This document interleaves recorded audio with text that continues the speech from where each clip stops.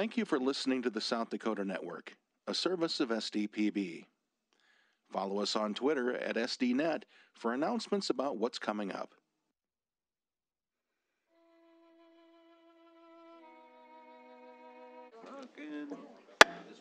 Good morning.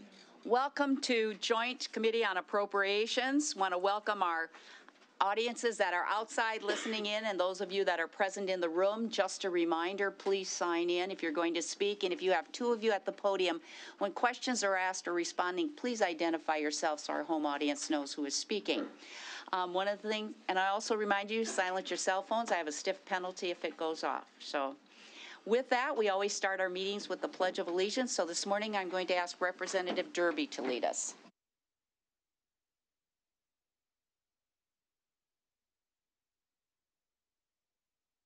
Republic for which it stands, one nation under God, indivisible, with liberty and justice for all. Well, I have to say, Senator Wink, I'll let you go first. Well, you've, you, this committee has something to be thankful for because if the Eagles had won, I was going to sing Fly, Eagles, Fly to the committee. So you can be thankful for that.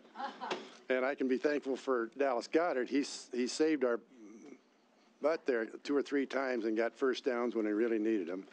But it wasn't the day for the Eagles, you know. This, I'm trying to fly with a broken wing here this morning.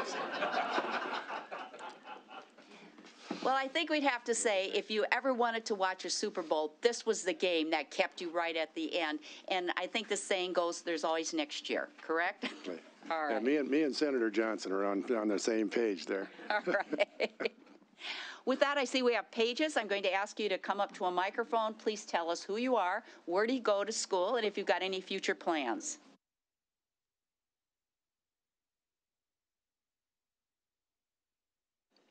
My name is Isaac Weinheimer. I live in Pierre. I'm a senior. I'm homeschooled. And right now I'm looking to go into Lake Area Tech for diesel mechanics, and I love the farm. Um, my name is Lexi Squire. I'm a senior at Dakota Valley High School, and I plan to study business administration. Very good. Well, thank you for coming and helping us out today. We appreciate it much. With that, I will ask the secretary to call roll. Senators and Representatives, Otten. Casson, Here. Mills, Absent excused. Wick. Duba, Here. Foster. Here. Johnson. Here. Kroll, Here. Maher. Karr, Absent excused. Koth, Here. Kolbeck, Here. Bolin, Here. Wink, Here. Venhuizen, Here. Breitling, Here. Derby, Here. and Hunhoff. Here. We have a quorum. Thank you. Senator Bolin, you have minutes. I have to leave testify. Uh, Madam Chair. I move the minutes of Thursday, February 9th, 2023. They included the Bureau of Information. Is there a Information. second? Second. All right. Moved good. by Senator Bolin, second by Senator Wink.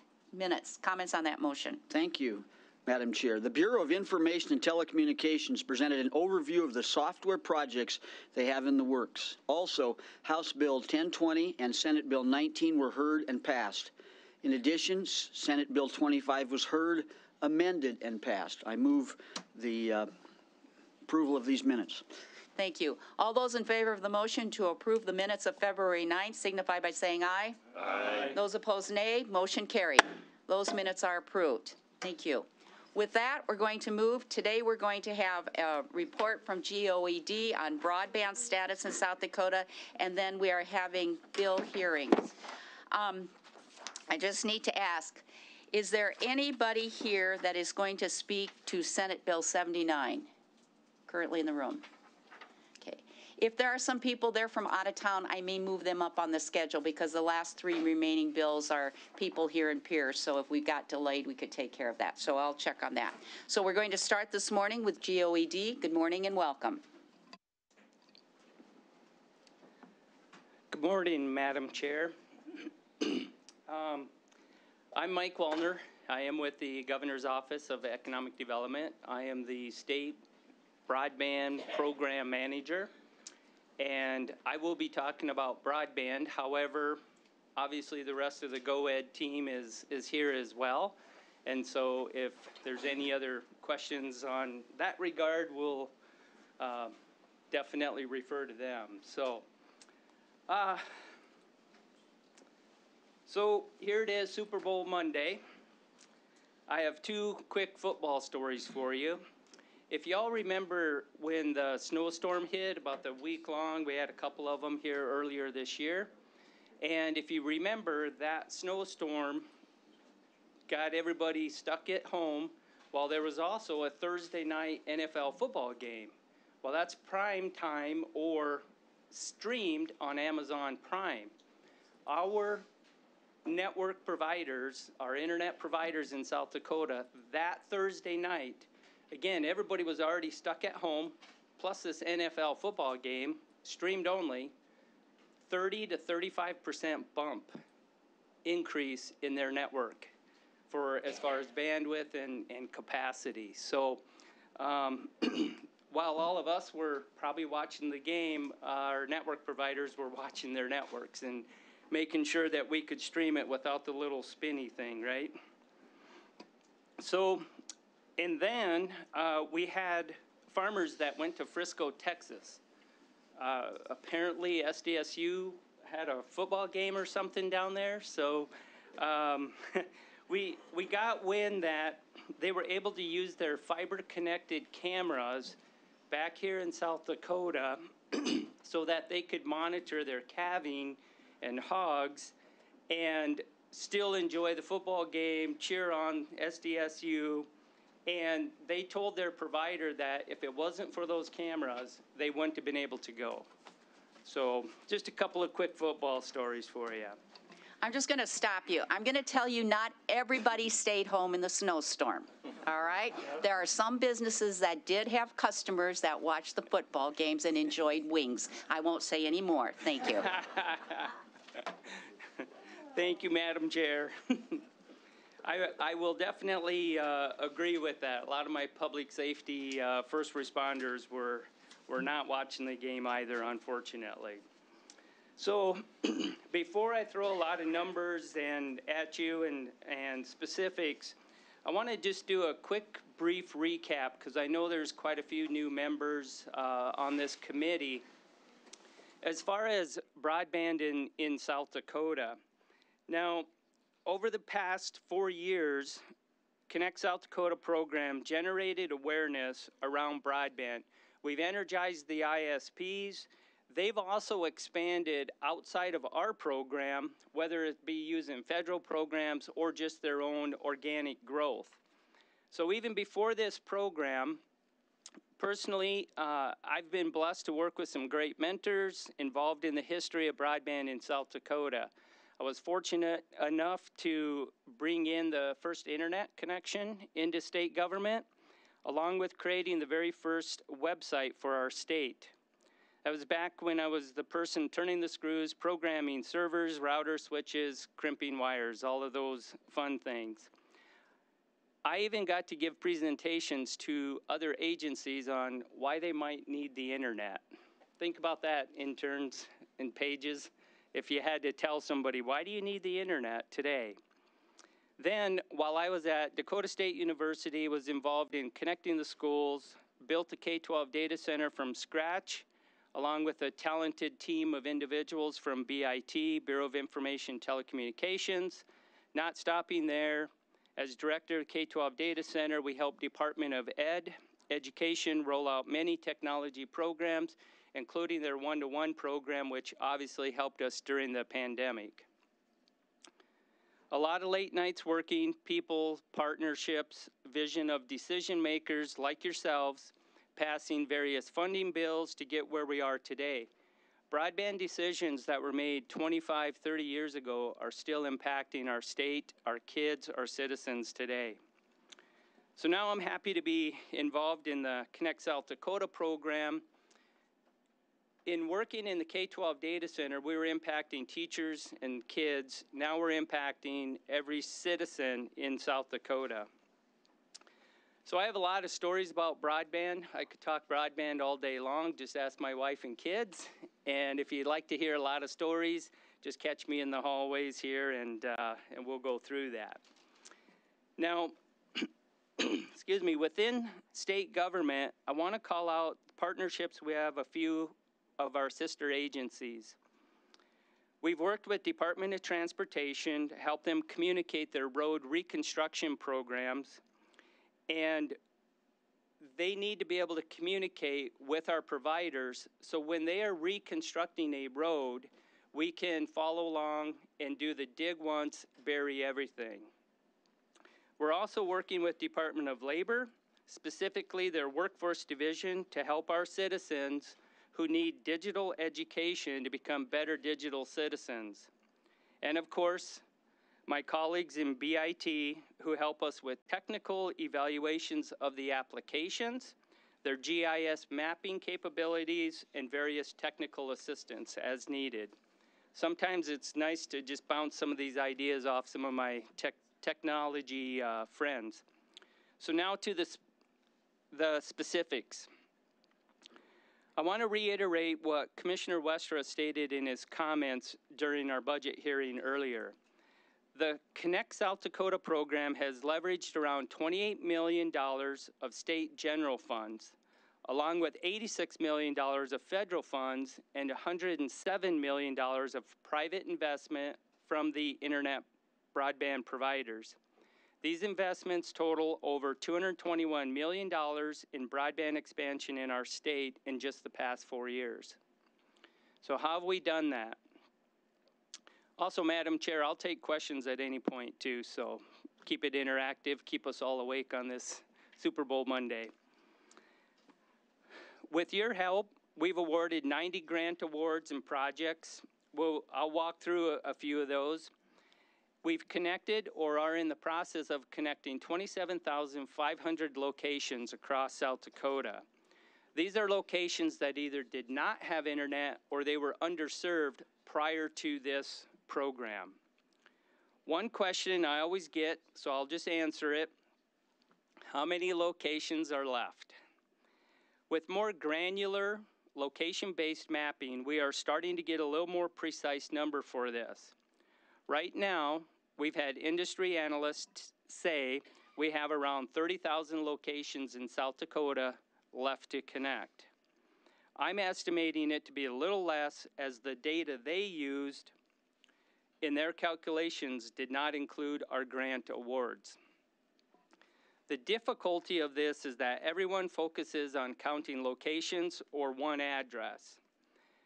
When we have a lot of areas that have multiple connections, such as connections to farm irrigation systems, wind turbines, grain bins, elevators, or locations that are miles away from their farmhouse that maybe is a sensor for a water pump or a corn dryer or cattle, like I mentioned with our SDSU fans.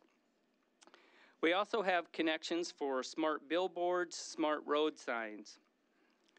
What I can tell you is that we now have stores in Timber Lake able to run credit cards without delay or issues. The Pheasant Hunting Lodge can provide Wi-Fi for their clients and now immediately manage their digital campaigns. Or the West River rancher told me three years ago his grandkids didn't want to visit because they didn't have internet. Today, he tells me the kids and grandkids fill the house, and while, of course, he still drags them outside during the day, in the evenings, they're sending pictures, playing games, video conferencing with their friends back in the quote unquote city. We still have work to do. I had a conversation with a realtor who had a prospective couple looking to purchase a house in rural South Dakota. The couple works from home and needed high speed internet. It was a nice $675,000 acreage. Unfortunately, it was going to take two years before the location had fiber through a Connect South Dakota program. They never purchased that house. The realtor didn't know if they purchased elsewhere in South Dakota. She then told me a story of a person looking to come to South Dakota and their employer required minimum broadband speeds. Unfortunately, it was inadequate at that location to the point that they canceled their flight to even come look at the property. During our budget address, Commissioner Westra was asked if Gevo came to Lake Preston because of broadband. I can tell you, because of Connect South Dakota, high-speed internet is available there. They came to that area because of a number of reasons, including the proximity to the corn producers, and let's face it, the hard work of the economic development team of South Dakota. Today, companies just expect that high-speed internet. I think, however, as we remember and think of the stories of the realtor, we need to flip this script. We have proof that if we don't have high-speed internet, they will not come. It's the old cliche. If you don't build it, they will not come. We know this t- to be true. There's no reason anyone in South Dakota should be without high speed internet. All our citizens deserve the very best. So let's get into the awards over the years and discuss some of our plans going forward. Representative Colt. Thank you, Madam Chair. I have a question. Uh, I had a an impromptu meeting with uh, a group uh, a month or two ago, and and and the question surfaced: Is is internet broadband considered infrastructure equal or the same as streets, roads, water, sewer, drainage? In other words, there are some places out there that it isn't practical to put in a road or put in a water line because of, of the cost and the repay. So, and I and I'm what I'm hearing is everybody deserves broadband, and, and I appreciate that. That that gives me goosebumps. Okay, but is that really practical in the development world? And at, at what point do we back off and say? if you want to come to South Dakota, you need to look at roads. Is there adequate water?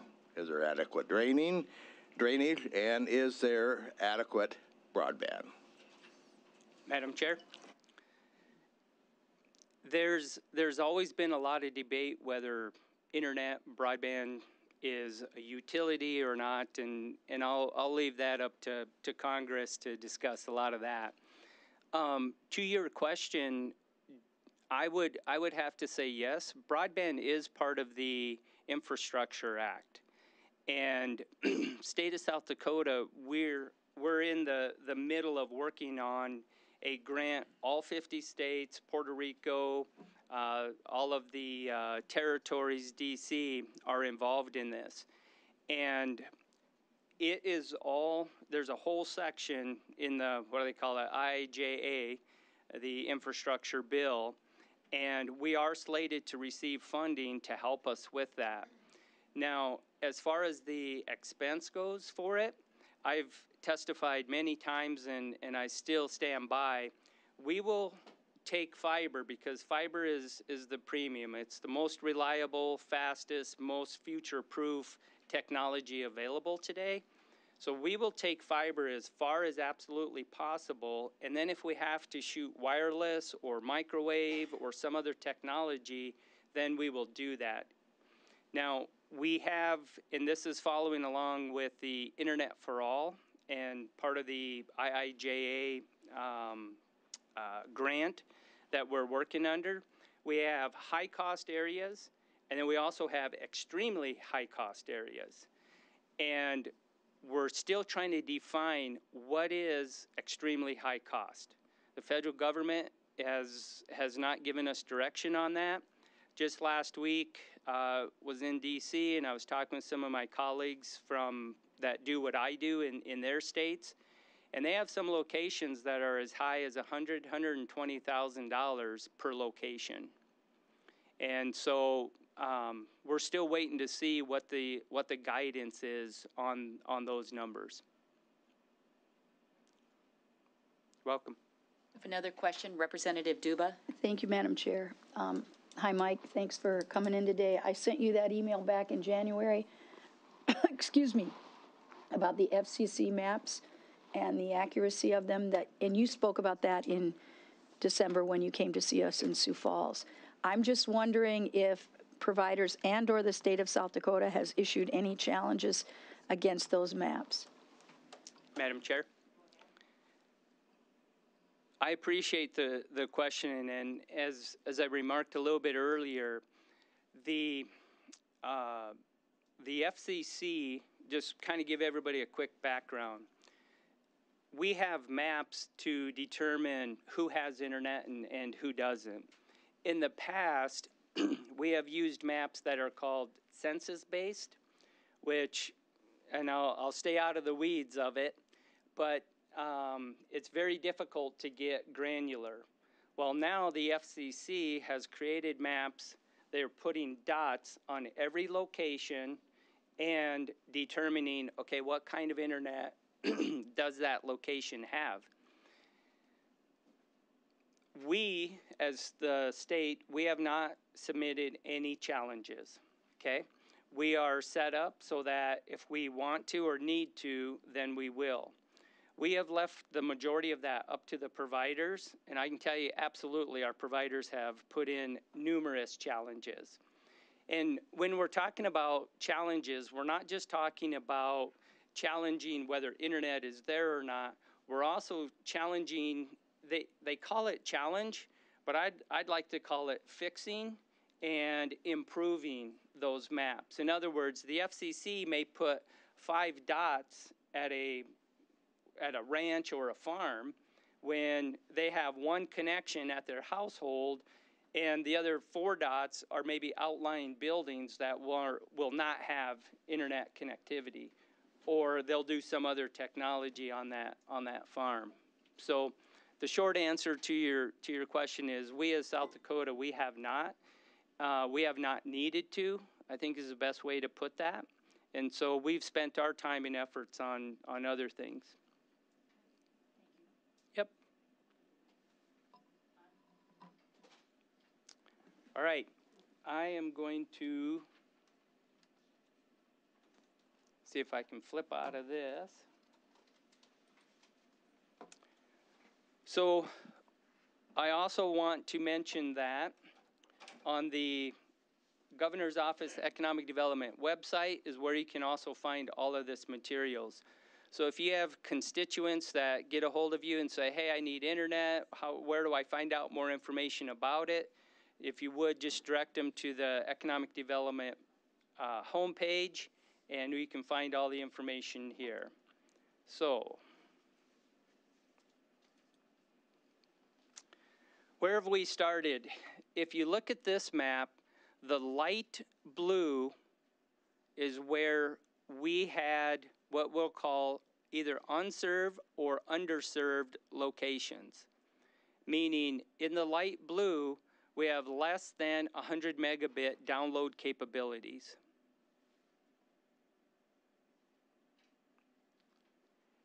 In 2019, y'all remember the Connect South Dakota program received $5 million of general funds.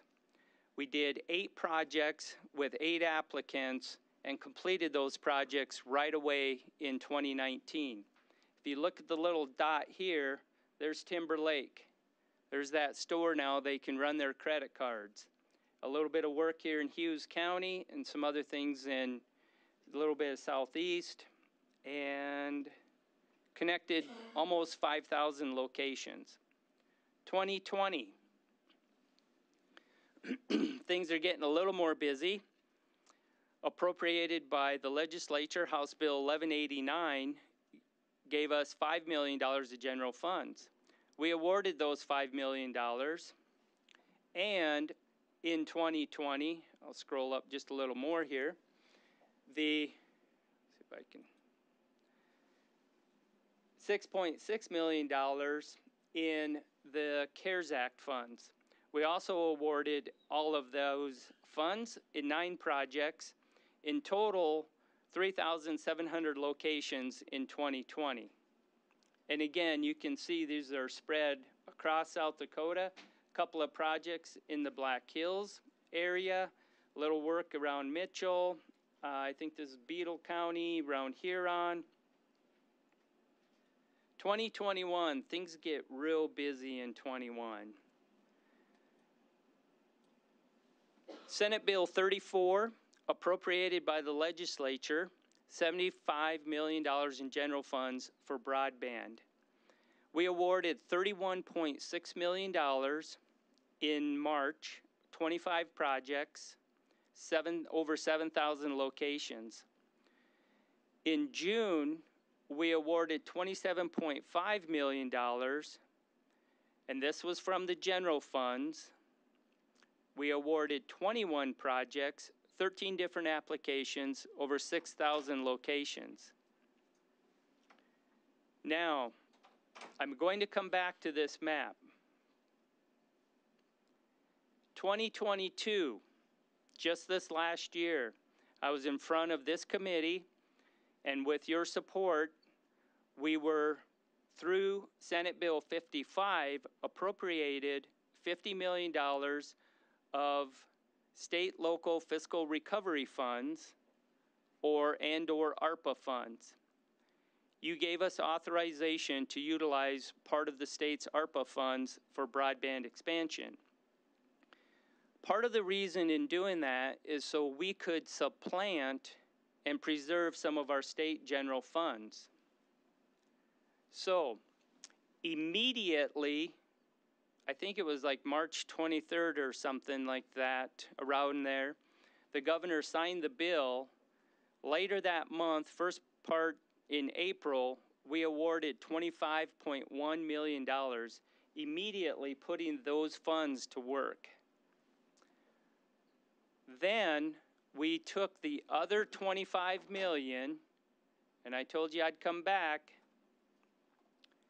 We went back to our awardees and we asked them, would you be willing to do an amendment and accept ARPA funds? In other words, we will pay your awards with ARPA funds or this SLFRF funds rather than state general funds. And you can see we had five awardees with 11 different projects that accepted that amendment. Now, the question is, why wouldn't they, or why didn't some of them, or why did these, or why is it a big deal? The state general funds, we have a very simple application and a very simple process. We know what we need to have done, we being the state, the providers are the ones who know how to get it done. That's part of that public private partnership. Now, when you start involving SLFRF funds, there's a lot more reporting requirements and other stringent rules that they have to follow. And so it's going to cost them a little bit more to be working with this amendment now and these ARPA funds. However, you can see that as a result of that, we were able to preserve or supplant $10 million of general funds. That left us with $18 million being paid by general funds. So, let me recap here, just so we're perfectly clear. In 2022, we received the $50 million, the expenditure authority for that $50 million. We immediately awarded $25 million.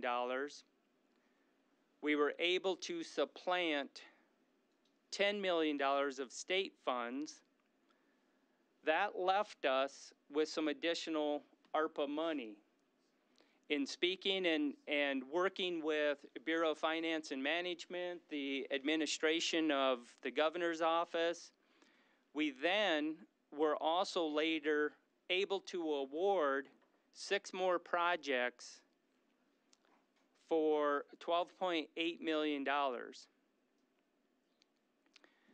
These six projects were projects that in March, even though everybody knew, all the providers knew, we received $50 million.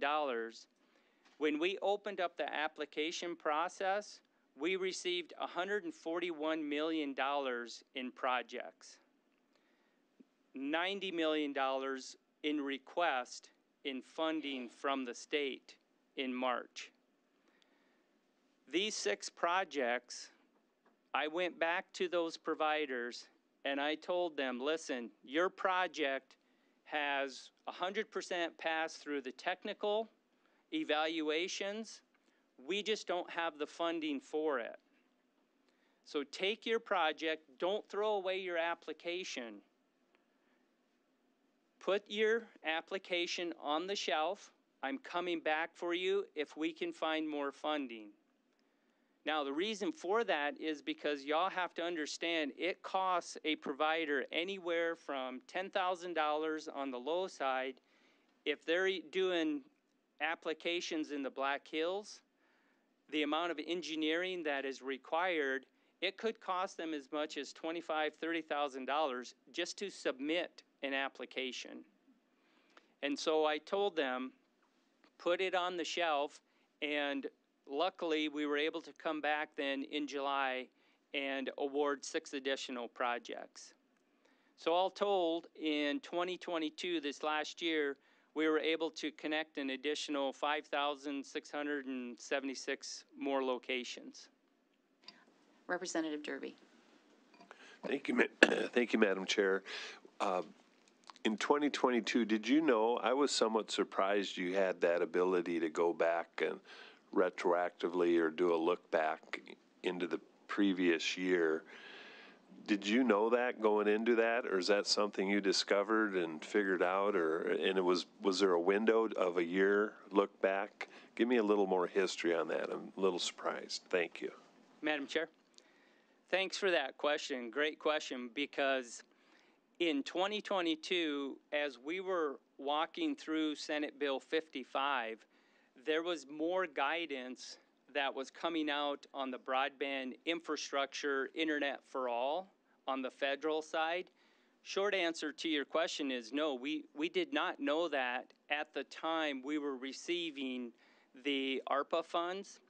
And in fact, initially, from preliminary reports, I'll, I'll say from the federal um, IIJA bill, we were looking at utilizing 25 million for our awards like we did right away in March, and then we were going to utilize the other 25 million as a match for additional funding that every state gets. And so we were looking to use that for a match. Well, then the notice of funding opportunity, the NOFO came out, and we saw the match didn't have to come directly from the state. And in fact, the match could come from the provider, the state, it could even come from basically individuals. It could come from a nonprofit. They, they really opened up where that match could come from. So that opened up our eyes to being able to have a little more flexibility with that funding. And then that's when we went back and talked with Bureau of Finance and Management, and obviously our administration working with the governor's office and sat down. What do you, what's everybody think? How's the best way to utilize this money? The other thing that I'll mention is, so with that 25 million, even if we were to use that for the match, we're not anticipating receiving any of the Internet for All funding for another two years. So we looked at that and thought, why would we put this 25 million on a shelf just to get dusty? Let's put it to use right away. let's start connecting additional locations as soon as possible. And so you can see in, by being able to do that, we've already connected another 1,200 locations or are in the process of connecting them. And so they'll get internet, high-speed internet, two years before. It's a great question, and, and I, I'll just throw one other quick thing out, is that, as you can tell, there's a lot of moving parts with uh, a lot of the, the broadband funding. I think on the federal side, there is, I want to say, a hundred different federal agencies that have some sort of broadband funding. Thank you, Madam Chair. That was a great question, but that was a great answer. Thank you. Thank, Thank you. I have a comment and I have a question. Um, This is now on uh, board papers, so if you wanted to look under uh, GOED, you'd see the PowerPoint presentation that's being used. The second Thank thing you. is, when the um, requesters fill out the application, is there anything that indicates that as a result of being able to do this work, that there's an increase in the costs for the internet services by that provider? Madam Chair, let me see if I, um, So if there's an application for the grant, is part of the criteria, a question asked, will the cost of services increase if you're awarded the grant? I mean, as part of doing business, I'm just asking. Yep, Madam Chair, great uh, question. And the, the pricing and the, I'll, I'll just say pricing packages that are available from the internet provider, that is part of the application process, and we do look at that. Um, That most definitely is, is part of the overall picture.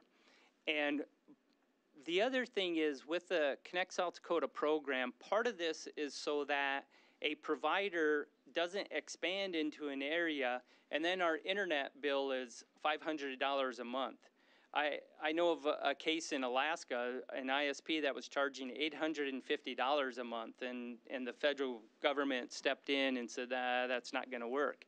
And so we, we also know kind of where the sweet spot is uh, through the providers as far as the price and what works as far as their return on investment.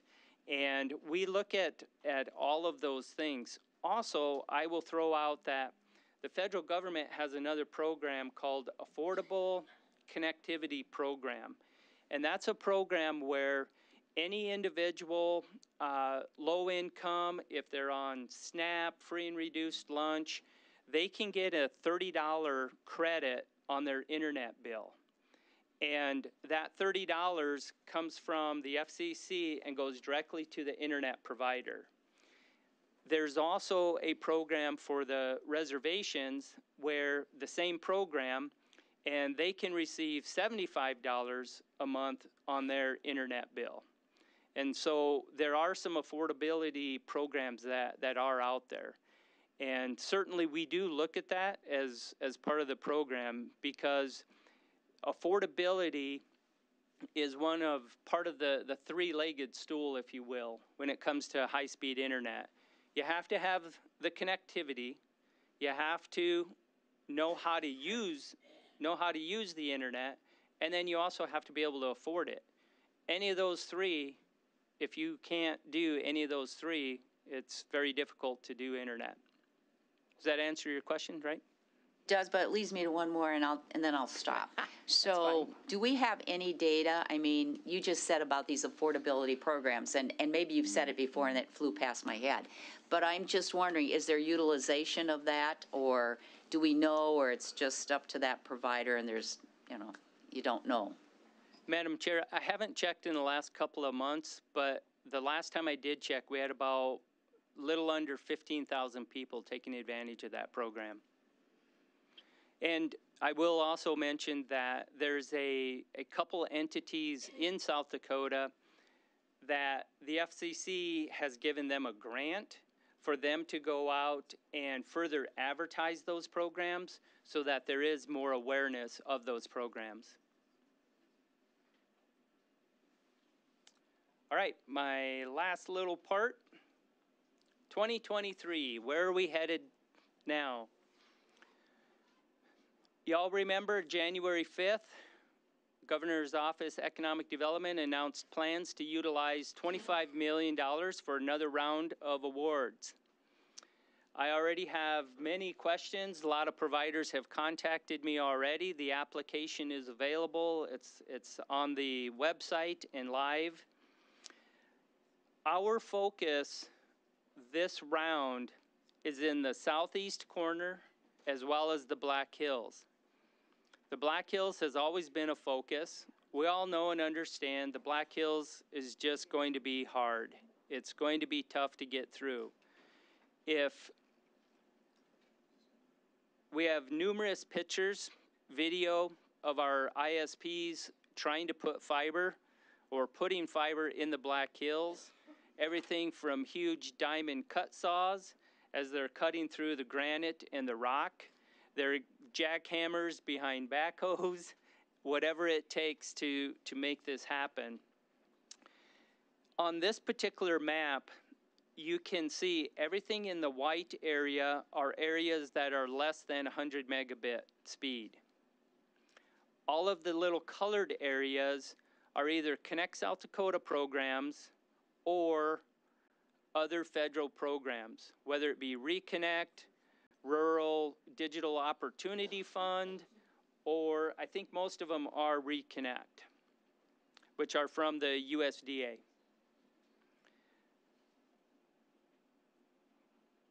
So where are we at at the end of 2022? This is again where the areas are. Now, I want to make a, a quick mention here is that some of these areas, and I'll pick on this area specifically, this area, I know in talking and communicating and just having good relationships with our ISPs across the state, they are covering this area in 2023. This area here is also being covered in 2023. Also, area here is being covered in, and that's on their own dime. That's not through Connect South Dakota. That's just natural progression and organic growth, if you will, within that company. Now, also Jones County in 2023, the internet provider, that is their territory. That is the, the territory that they are responsible for, and so they are expanding. Now, the nice thing about that is just having that good relationship is now I know I don't have to fund that area. I know I don't have to use our general funds. I don't have to go look for federal funds to fund that area because I know that ISP is taking care of it. So I just wanted to point that out when, when you look at, at this particular map. The other thing I'll throw out is that we do have areas within this map where obviously as you zoom in, there can be some, some gaps, and that's what, quite honestly, we're going to start looking at over 23, 24, 25. The next two, three years, we're going to start finding where are those two, three, four, five houses? Where, where are those areas that were, you know, who's missed? And so, again, with those FCC maps, Representative Duba, we're going to use those maps and really start digging in and, and getting more and more granular. So, again, I'll try. We've got a question. Senator Okay. Wink. Thank you, Madam Chair. Can I, can I get up and look at something on the map? Point? Sure. Um, I live about right here. Highway thirty-four goes this way. You're going to have to use your microphone, Senator Wink. He, Please he's use your pointing at, microphone. uh, Madam Chair. Okay, Okay. So you know where I live? yes. Okay. Two or three Highway- years, ag- two or three years ago, they asked me for an easement going up along Highway seventy-three. And they said they were gonna put in fiber, and I said, sure, great. And me and the neighbors can get high speed. But down at the intersection of thirty-four and seventy-three, there's no fiber coming, I don't think, in from any, any place else. Can you connect from towers or something to start up there, or Or do we not have, because I just signed another easement coming in on 34, so do we not, there's a copper line there now. Do we or do we not have fiber going from Howe's Corner up to Faith? Madam Chair, first off, thank you for signing the easement. That's, that's the first step. Uh, That's, that's not always the easy, easy part. Uh, Between easements and permitting can really uh, delay projects, so appreciate that. Uh, Specific to your question, I'm not sure. I would have to dig into it and, and really zoom in on the maps. And the other part of that is, as, as you're saying, signing easements for, for fiber, we've also had a, a global uh, technology company that has run fiber through South Dakota, basically from Minneapolis going to Rapid City and then down to Cheyenne. And so it might be a provider or somebody that's not even connected with the Connect South Dakota program, but I'll look into it and find out for you. Thank you. Yeah. Any other questions?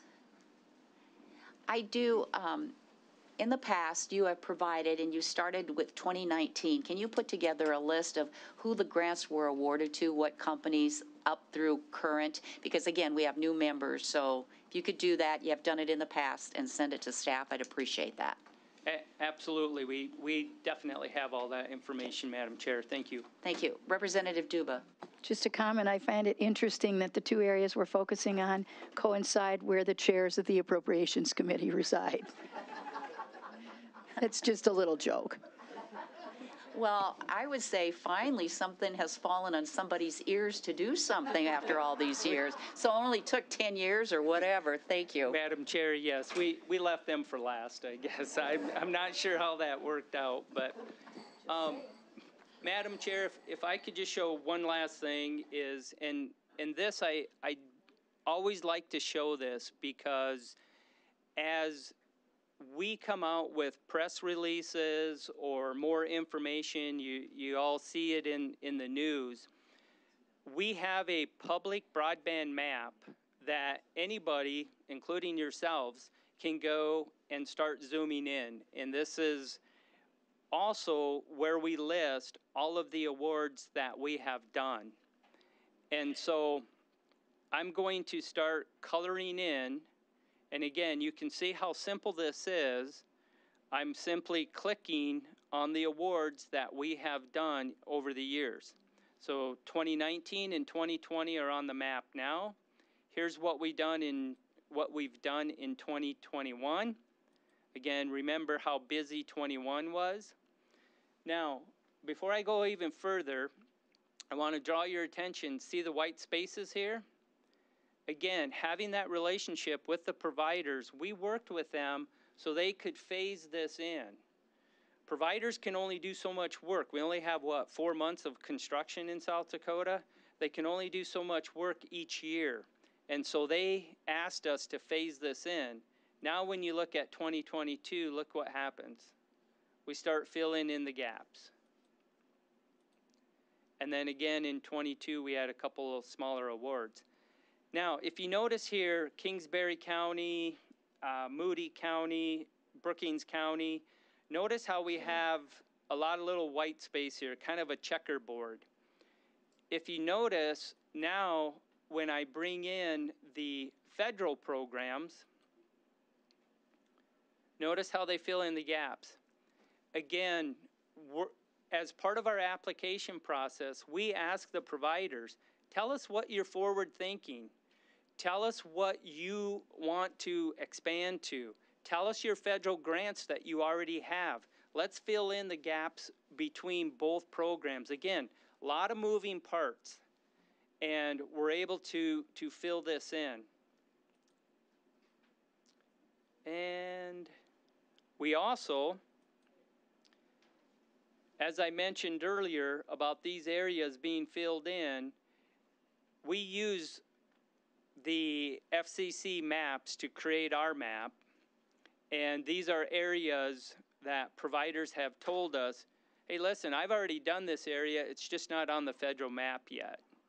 And, it, and these are trusted providers, we know that they've done the work, and so we make sure that we put it on the map. So again, this is kind of my, my way to teach you all how to, how to fish in that, you know, we'll certainly provide you any and all data and information that, as you like. But at the same time, if you have constituents asking, hey, is there an award? Am I going to have internet in this area eventually?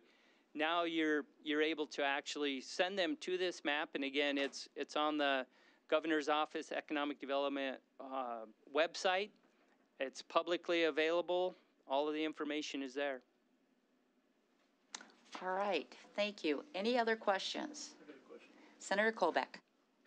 Thank you, Madam Chair. And just a quick question again, and this has been brought up, I think, the last couple of years too. Are all the providers now working pretty good with you guys on this broadband, or is there still this one certain provider that we had problems with for a couple of years, and you know who I'm speaking of, which definitely was in the Sioux Falls T area, and I think down south as well. Are they, or do you have a new provider now moving into those territories so that they can get their broadband? Madam Chair. Senator, I was concerned uh, a couple of years ago because when we have areas that are not connected and we have a provider that we can, uh, with a large degree of certainty, know that they are not going to give our citizens high speed fiber internet, one of my concerns is okay, then who is? And in these other rural of rural areas, that's where we have our telcos, our co ops, and they're governed by a board of their members. And that's why all of these areas are fiber connected in the rural of rural South Dakota. Now, in this specific area, as well as in the Black Hills, I was pretty concerned in the southeast corner who are we going to get to fill that area? I can tell you I am very pleased by the, the number of phone calls and providers who have asked me for specific details in that area to the point that my feelings are I'm going to have probably one of the most competitive rounds, grant rounds, is going to be in this area. And so while yes, we still have other providers that are not, for whatever reason, business, uh, financial reasons, not wanting to connect our citizens to high-speed fiber. I'm seeing our other providers are stepping up and, and really coming to the charge, if you will. Well, Thanks for uh, clearing that up, but just one follow-up question is that if you have a provider that doesn't want to cooperate, I mean, it just says, okay, we're at the federal level, we're good, we don't want to bring our broadband up to 100 and all of that there. Is there the opportunity for another provider to come in and put the fiber in so that these people can get to that quality of broadband that, like you explained at the SDSU game, how they were able to, you know, communicate back on a farm and still watch a great football game? Madam Chair? That's, that's absolute, that's exactly what the Connect South Dakota program has been doing. And, and you are absolutely right. And what it's, it's called a, a competitive um, ILEC is, is what it is, or CLEC. And um, when it comes to broadband, anybody can pull in fiber as long as they have the right permitting, the right easements. Any company can step in and do that. Yep, absolutely. Senator Wink. Thank you, Madam Chair. Speaking of easements, I was always, I'm curious just because, like I say, I've got property going along Highway 34 and Highway 73, and the only thing separating the public right of way, the highways, and my property is a barbed wire fence. Why would they ask me to sign a private easement when maybe they could go up the public right of way? Do you have some arrangement with DOT, or is it more expensive, less expensive, or more of a hassle, or what's, what's your reasoning, I guess? Madam Chair, that's a great question, and I, I would defer to uh, maybe the SDTA Executive Director, but I, I would have to ask specifically a, a provider that. Yeah, I'm just So, curious. Yeah, thank yeah. you. Any other questions? All right, Well, then I thank you for this morning's presentation and thank you for the work you're doing to expand broadband in South Dakota. Are there any other questions for GOED? Because all of them are here. I would hate to have the opportunity. I would just follow up with one question. Okay. Um, do you have a breakdown of the awards that we have given in general funds and what's left and what is, um, allocated to be spent? Do you have a breakdown of all that funding since we started to to date, year to date? So, Madam Chair, we'll, we can include that when we send you a list of all of the awards, and we Yeah. can tell you exactly which bucket of money that it's, and it's then, coming and then also show what we, what we allocated in general funds and then what was replaced with federal funds and just a way so you can wrap your head around this and how we're tracking this so we can see it for our own edification. So, Madam Chair, absolutely. Thank We you. have a great finance director that can uh, definitely package that together for you. All right. Last time, any other questions here? I don't want to, we have a few minutes, so. Okay, thank you so very much. Thank you. All right.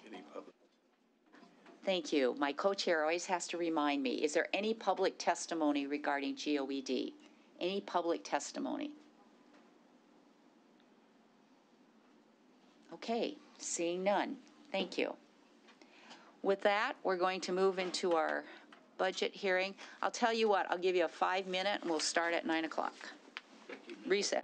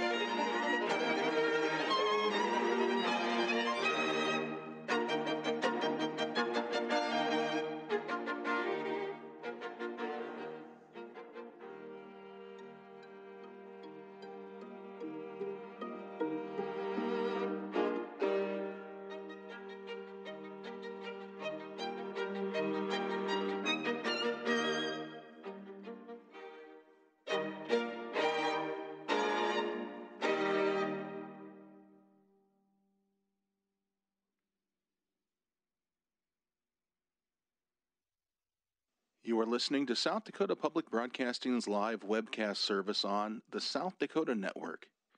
More information Good morning. Joint appropriations will come out of recess and we'll start with our bills. Our first bill will be House Bill 1030, which makes an appropriation for the revised construction costs of the bioproducts facility in Brookings and to declare an emergency. Proponents for House Bill 1030, good morning and welcome. Good morning, Madam Chair and members of the committee. My name is Brian Maher. I am the Executive Director and CEO for the South Dakota Board of Regents.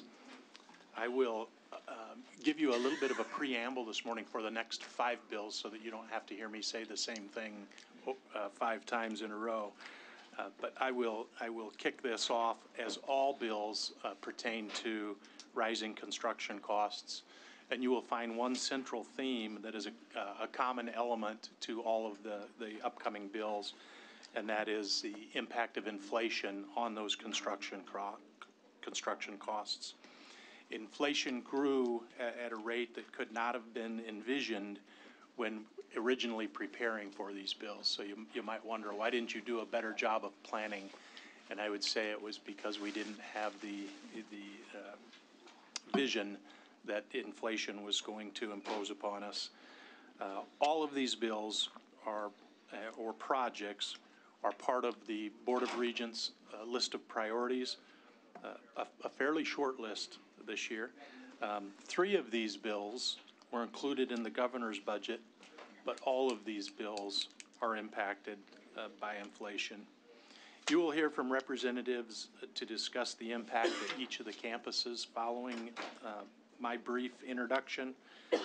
I will turn it over now to uh, Dr. Daniel Scholl, the Vice President for Research and Economic Development at South Dakota State University. I will also stick around if there are any questions later. Thank you. Further proponents for House Bill 1030?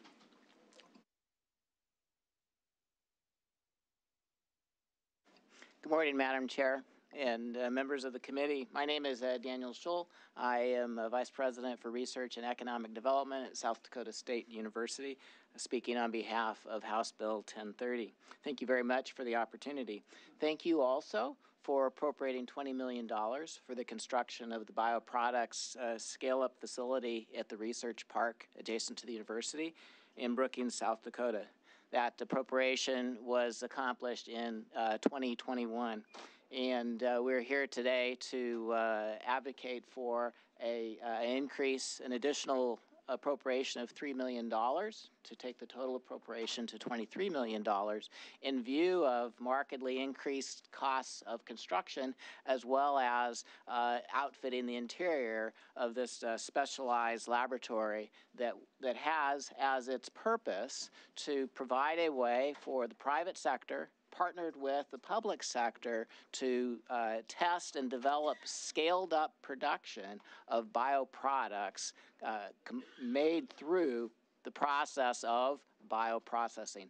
Think eth- producing ethanol from corn, but creating still further products to add diversity to the agriculture economy the beneficiaries of this uh, facility and being able to complete the facility in its totality with the additional appropriation will be South Dakota farmers, ranchers, and land managers whose uh, uh, products uh, will um, uh, uh, add diversity to their um, to their economic flow through. Um, value added commodity industries, agriculture commodity industries that add value to products from the land will benefit, as well as South Dakota residents, and the opportunity for high value employment in bioproduct production and marketing. Uh, I urge your uh, support of House Bill 1030, and I will be happy to remain available for questions. Thank you. Further proponents, House Bill 1030.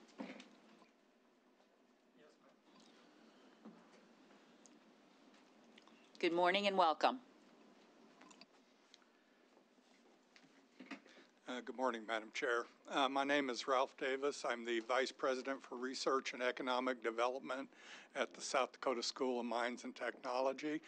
And I would just like to say that we support this added uh, added uh, appropriation to complete the building. It's it's a wonderful building. It's near completion now with the uh, shell out of a number of empty labs on the top floor that need to be completed. Uh, we would like to really uh, see this building ready to go when, when, it, when it's done and not have to worry about several years more of lab build out on the top. Uh, this has been a real wonderful partnership between uh, South Dakota State and South Dakota School of Mines as these funds have been uh, used to date. And I would say that we have continued this partnership through other venues. Um, we've partnered with South Dakota State on uh, some Board of Regents funding. We pooled our funding and were able to purchase a $400,000 uh, 250 liter reactor that will go into our composite polymer lab at uh, South Dakota School of Mines. That's a, a, a, stepwise stage to utilizing the POET facility. So we have bench scale go to the 250 liter reactor at Mines, and then that will make us prepared to move our products over to the new POET facility at Brookings and, and leverage, leverage in that sense. We have hired uh, faculty in this area. We've hired one research scientist who came on board last month uh, to interact with that new 250 liter reactor. We are, we've partnered with South Dakota State uh, again and pooled funds available through the Board of Regents to hire another faculty on our end. It's in bioinformatics, and on South Dakota State's end, I believe it's in the area of genomics, which also ties uh, with this facility. Uh, our faculty at Mines have uh, obtained NSF grant funding in conjunction with Kansas State University, which is focused on creating bio uh, polymers for the ag industry, uh, the large bale wraps and the uh, row composite polymer materials that go in the rows.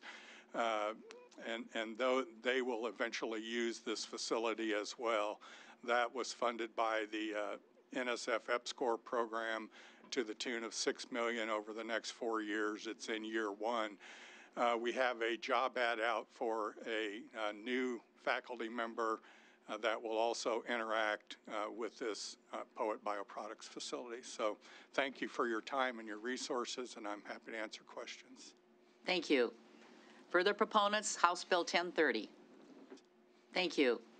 Further proponents, House Bill 1030. Good morning and welcome. Good morning, Chair, members of the committee. My name is Brenda Forman. I'm registered lobbyist and executive director for South Dakota Association of Cooperatives.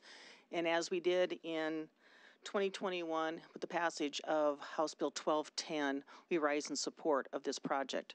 As has been stated earlier, it is due to increased costs, but more importantly, it's the benefits. The farmers, ranchers, businesses, the communities will truly benefit from the products and the structure opportunities that come from the development of this program.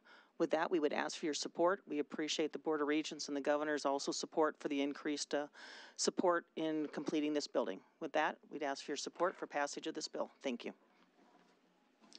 Thank you. Further proponents for House Bill 1030, good morning and welcome.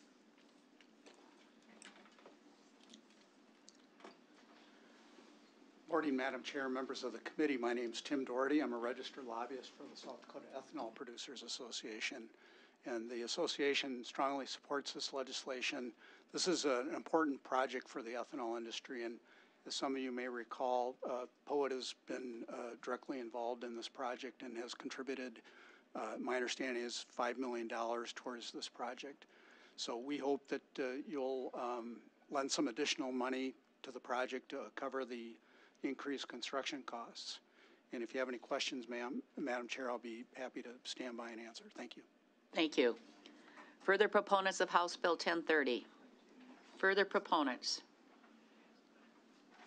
Okay, anybody online? Not seeing. Are there any opponents to House Bill 1030? Any opponents to House Bill 1030? Any opponents online? Seeing none. With that, I will open up this hearing for questions. Questions from the members. Representative Derby. Thank you, Madam Chair. I, I think it'd be helpful as we move through these bills, we just, for those that are listening and maybe don't have access to see what the actual bill does, but for example, this uh, moves the general fund sum from 20 million to 23 million. So it's a $3 million increase, correct? So as we move through these bills, I think that'd be helpful that we frame each of those and exactly what we're doing. Thank you.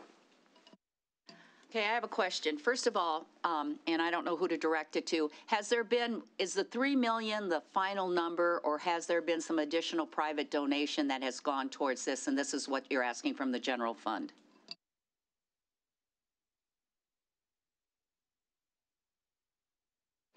Thank you, Madam Chair. The uh, total project cost is $34.9 million. We've raised 11.9 uh, million in addition to the state appropriation of 20 million, which leaves a gap of $3 million to complete the project. Just a follow-up. I want to be clear so I understand. Based on that, after you found out that the costs came in higher, were there additional dollars or was the 11 million in the initial proposal when we approved this? We have raised at least an additional $1.9 million than originally estimated. Thank you. That's what I was looking for. Did you have a question, Representative Venhuizen? Yes. Um, Dr. Schultz, can you also speak to the extent to which they've made changes to the design that reduce the cost or value engineered it? And that would be a question. Every one of these bills, I'm going to ask the same thing, so you may as well just address that when you testify. Thank you. Madam Chair. Uh, thank you, uh, Representative Venhuizen.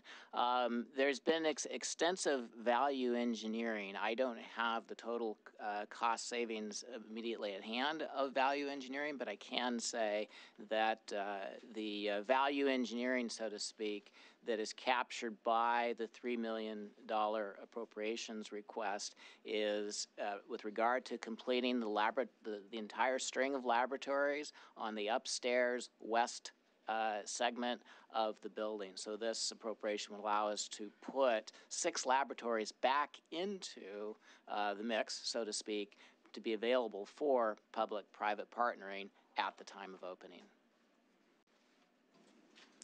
Senator Bolin. Yeah, thank you. Um, Dr. Schultz, good to see you. Um, say w- w- three years from now, this building is up, running, everything's working. Do you need do you need federal funding to maintain your vision or your concept of how this whole thing will work? Madam Chair. Uh, Senator Bolin, it's good to see you as well. And yes, indeed, we do. In fact, the uh, the continued scientific progress will depend on a variety of funding sources, including federal research and research and development grants, in order to build uh, to create scientifically based economic activity. Follow up on that. Can you give me any idea of what percentage of the operational costs would have to come from the federal government? Madam Chair. Um, no, I, I can't because it'll depend on the, uh, the, the profile of uh, private sector uh, grant funded, private sector and grant funded activities that uh, will go on in the facility, and that will vary from year to year. So it'd be it'd be a bit of a shot in the dark uh, to give you a proportion. Thank you. One last question. Was this in the governor's budget or the Board of Regents' budget? This was uh, it- the Board of Regents' proposal to the governor's budget, and the governor placed it in her budget. Thank you. Any other questions? Representative Karr. Thank, thank you, Madam Chair. Um, I know we, we're going to keep hearing the word inflation, inflationary increases, and, but I do want to just make sure we're doing our diligence as well.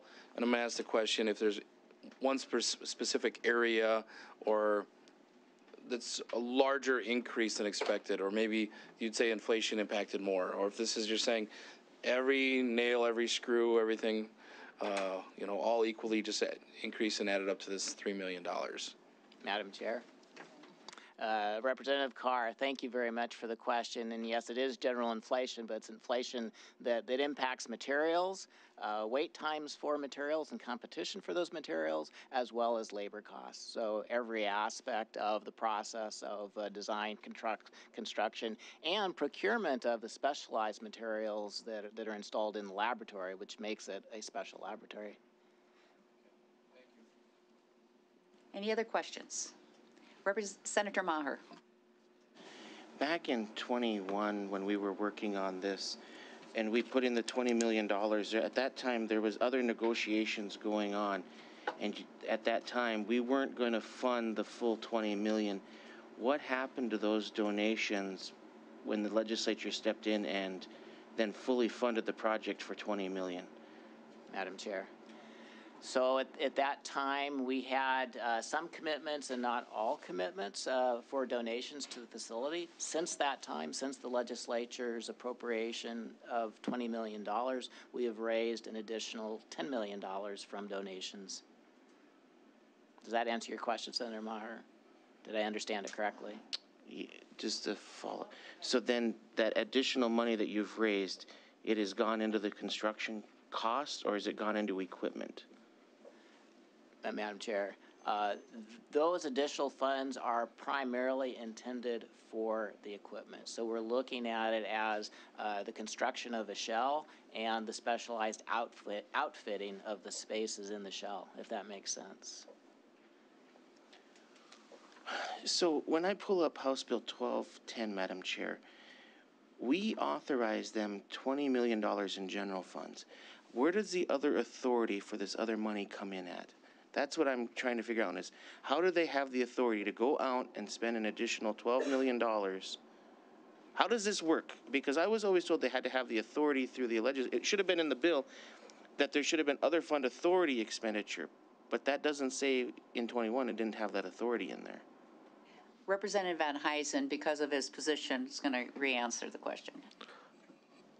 Not sure what position that is, Madam Chair, but um, th- this is a project that's being done by Growth Partners, which is the, the nonprofit entity that operates the, re- the SDSU Research Park. And so I think because it's not a state entity, they don't need author- other fund authority to spend private funds like you would if it was an SDSU, like the basketball arena or something. I think that's the difference. Discussion going. Did you have a follow-up first? No, that's, Okay, Representative Karr. I believe we asked that question last year, and that was basically the answer it says, you know, it's outside of the research park and, you know, this, this group are outside of state government. So we are just authorizing our general fund dollars, just like if we were gonna cut Senator Maher a check. And if you wanted to match those funds with your own, we don't authorize you to do that, but we have to authorize our general fund dollars. We have another response, Representative Venhuizen. I was just going to say, full disclosure, the Board of Regents has one member on the Growth Partner Board of Directors, and when I was on the Board of Regents, that was me. So that's why I have some familiarity with what's going on here. Senator Kolbeck. Thank you, Madam Chair. Just, just so I'm totally perfectly clear here. You have, we were budgeted 20 million, you raised 10 million, and now you've raised 1.9 million more, a- as you said, since the last time, in- since 21. So that puts you at 31.9 million that you, you probably have in the bank. I'll call that have in the bank. So you- basically, this bill is just asking for 3 million more. Is that correct? Madam Chair. Uh, Senator Kolbeck, yes, that's correct. Any other questions? Okay, seeing none, I will close this hearing to public testimony and open it up for discussion and/or action. Madam Chair, Representative Otten. I would move due pass on HB 1030. Second. It's been moved. what? I thought we weren't taking. Oh, I'm sorry. Yes, we aren't. I'm sorry. My error. We're going to defer action on these bills today. We need to have a day for revenue and then we'll come back. So I apologize. Apologize. Will you take your motion back? will withdraw Withdraw your my- motion. Okay. Thank you. Thank you. Thank you. Thank you for reminding me. I don't know what I was thinking about. I was moving. All right. So I like to change the rules and ga- engagement, keep you guys on your toes. That's the real question here. All Madam right. Chair, and it has nothing to do with where this is at, located? It has nothing to do with that? No. I've already been called out with my broadband. I don't think I can push for two today. All right, so again, just going to hear testimony and then we'll defer action. We have a big day to look at the next two days, so that will help us in making the decision. With that, we will move to House Bill 1031, make an appropriation for the revised construction costs of the Dairy Research and Extension Farm at South Dakota University, State University, and to declare an emergency. And just one minute here, I need to pull up that bill so I can see what the amount is. And the amount we are asking for is an increase of one, eight five to eight five. It's an increase of one point, a million dollars. So that's the increase that's there. Proponents for House Bill 1031. Good morning and welcome. Good morning, Madam? Chair, members of the committee. I'm Joe Cassady, and I serve as the South Dakota Corn Endowed Dean of the College of Ag, Food, and Environmental Sciences. Thank you for this opportunity to speak in support of House Bill 1031, and I'd like to thank the legislature for the previous support of this project and the $7.5 million that was previously allocated. And I'm here as a proponent of the additional million dollars um, and increasing the spending authority to uh, 17 million total. SDSU lies in, I'll allow my colleague to introduce himself. Madam Chair, Committee, Jonathan Maindering, Director of Planning and Design for South Dakota State University. Here's a proponent for Bill 1031. SDSU lies in the heart of one of the fastest growing dairy regions in the country.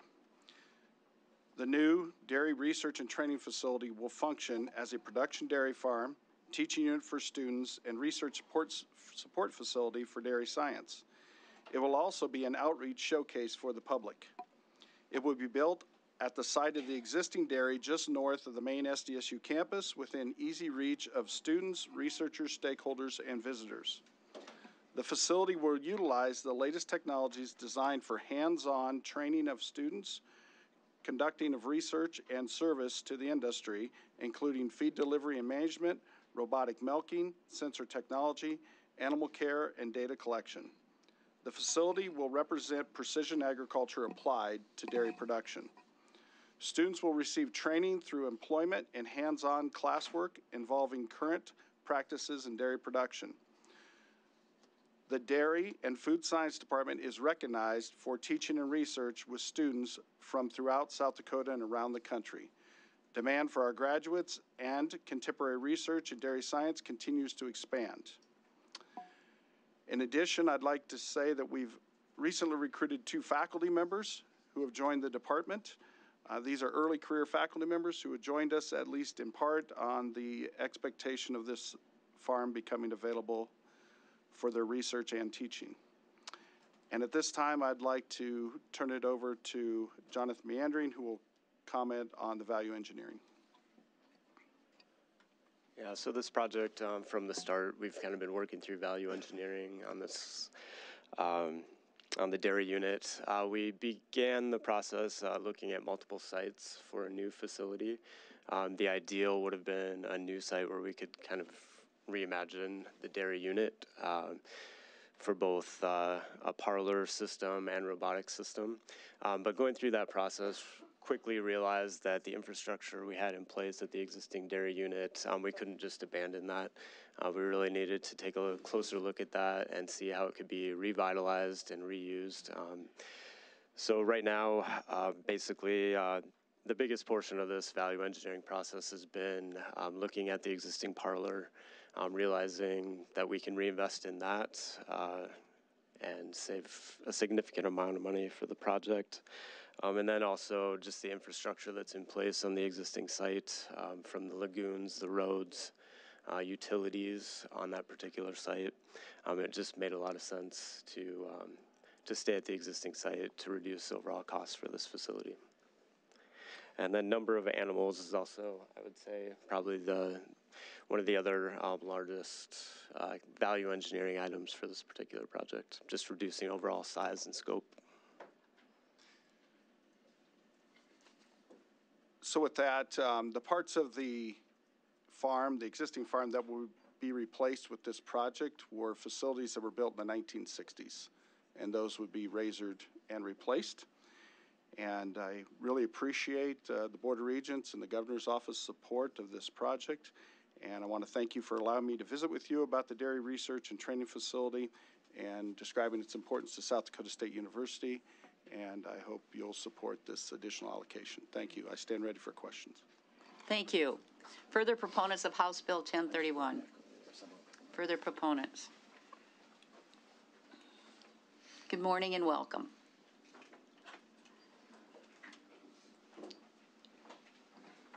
Good morning, Chair, members of the committee. My name is Brenda Forman. I'm registered lobbyist for South Dakota Association of Cooperatives and for South Dakota Dairy Producers. And we rise in support of House Bill 1031. Um, I think they again have put out the issue that increased costs have led to this request. We appreciate the support of putting this in, both Board of Regents and the governor's budget. This will help dairy producers in the state of South Dakota, manufacturing, management, uh, training, and education which is vitally important to the industry as it continues to grow in the state of South Dakota. So with that, we would ask for your support. Thank you. Thank you. Further proponents of House Bill 1031?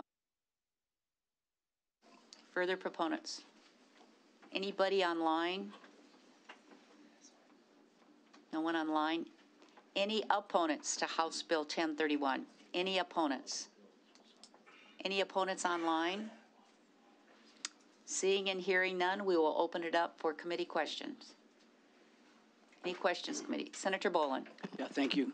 I guess for the um, main proponents, gentlemen in the SDSU colors there. Thank you, Madam Chair. Just uh, my first question is, are you confident that the extra million dollars will finish this task as you envisioned it? Madam Chair, we are still in the design phase of this project, and so we have not gone out for bids or, or things of that nature at this time. So the exact final cost of the project is as yet undetermined, but we are um, striving to come up with a solid project that meets our needs and fits within the budget constraints.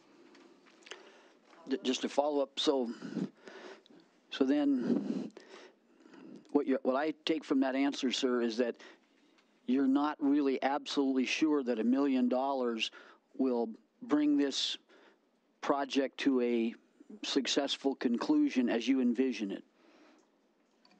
Madam Chair. Um, Again, I'll just reiterate, we're still in the design phase, and until the project goes out for bids, there's no way of definitively stating what the final cost for the project is going to be. So I, I cannot assure you today that the million dollars will get us to our current vision. Thank you. Representative Coth. Uh, Thank you, Madam Chair. And I, I don't expect for you gentlemen to be contractors per se, but it, it, it seems a little awkward to me that we're still in the de- design stage. We still don't really know the cost of. We still have inflation out there. So, are is the, does the design phase have a number? In other words, is this a target number and you're going to design it around that number? Or are we designing it based upon what our needs are and then fill in that number later?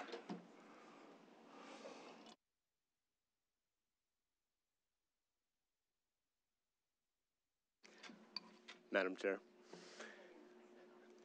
Uh, Jonathan Meendering, Director of Planning and Design, South Dakota State University. I, I would say that's a very difficult question to answer because, and throughout the design of a facility like this, it's a constant back and forth between understanding the budget required and understanding the needs required, and then trying to really make the two match. Um, and as stated earlier, um, it's it's been a struggle. I think we may have started uh, at kind of a low mark, so we've been struggling with the project to get the needs in line with the budget, and that's kind of a constant constant struggle with this particular project. Um, at this stage, uh, like I said, it's it's just kind of a back and forth between getting the two to line align between needs and budget. Follow-up. Uh, Thank you, Madam Chair. And maybe, I may have missed it. When do you expect to start putting the foundation in? And when do you expect for this particular facility or this improvement to be completed? So again, um, it's a little bit of an unknown, just because we are struggling to get the project within budget, and that's been the driver for this entire project. Um, ideally, we would have already been started, but again, trying to trying to get the needs aligned with the budget that we were handed um, is has, is is it's been a struggle. Um, just because. Uh, you know, getting the two to align has has been difficult, and we'll continue to work towards that. Um, but at this time, I don't know that we have a definitive answer of when construction would start. I. Senator Maher. Oh, I was gonna. Madam Chair, I've got a couple of questions here. So, of the other funds, eight point, you, was, we originally authorized seven point five million in other fund authority. Now we're increasing the other fund authority to eight point five million. Of that amount, of the, what, of the original amount for seven point five, how much has been raised? Madam Chair. It's both, it's other and general.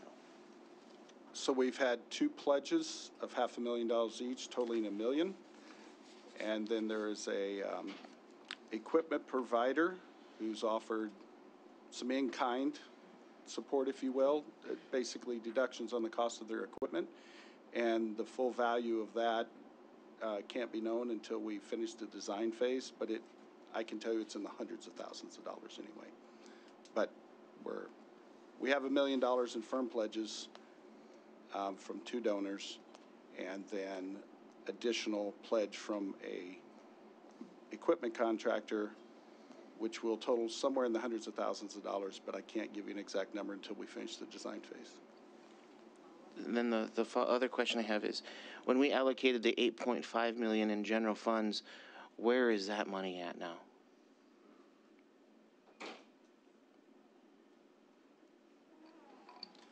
Madam Chair? So the original allocation of seven point five million, Or seven point five, yes. um, I honestly don't know the answer to that question. Thank you.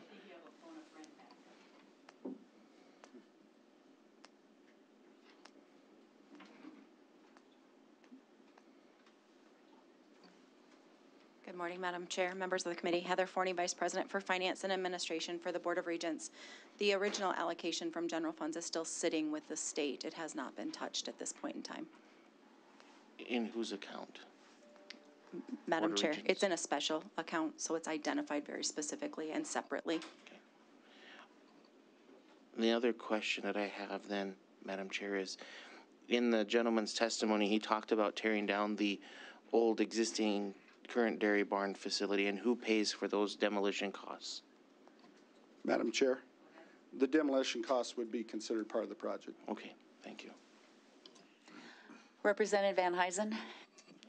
Yeah, I, I can't remember if you said this or not, but Senator Maher's question made me wonder about it. The, the other fund authority of seven and a half, raising to eight and a half, is that intended to all be private donations, or is there some higher education facility fund hef in this? No. Heather's saying no. It's all private. Okay, thank you. Any other questions?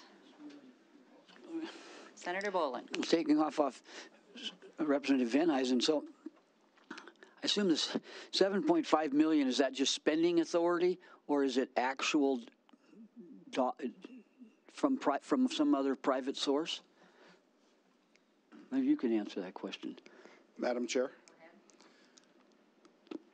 So my understanding is there were seven and a half million previously authorized. The current ask is for additional million.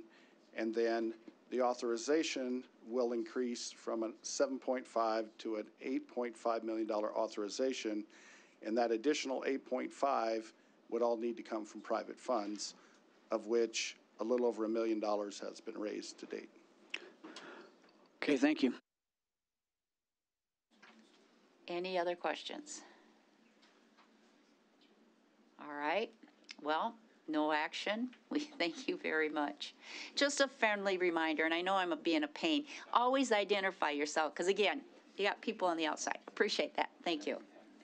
With that, we will move to House Bill 1032, which is to make an appropriation for the demolition and reconstruction of agricultural use structures at South Dakota State University and to declare an emergency.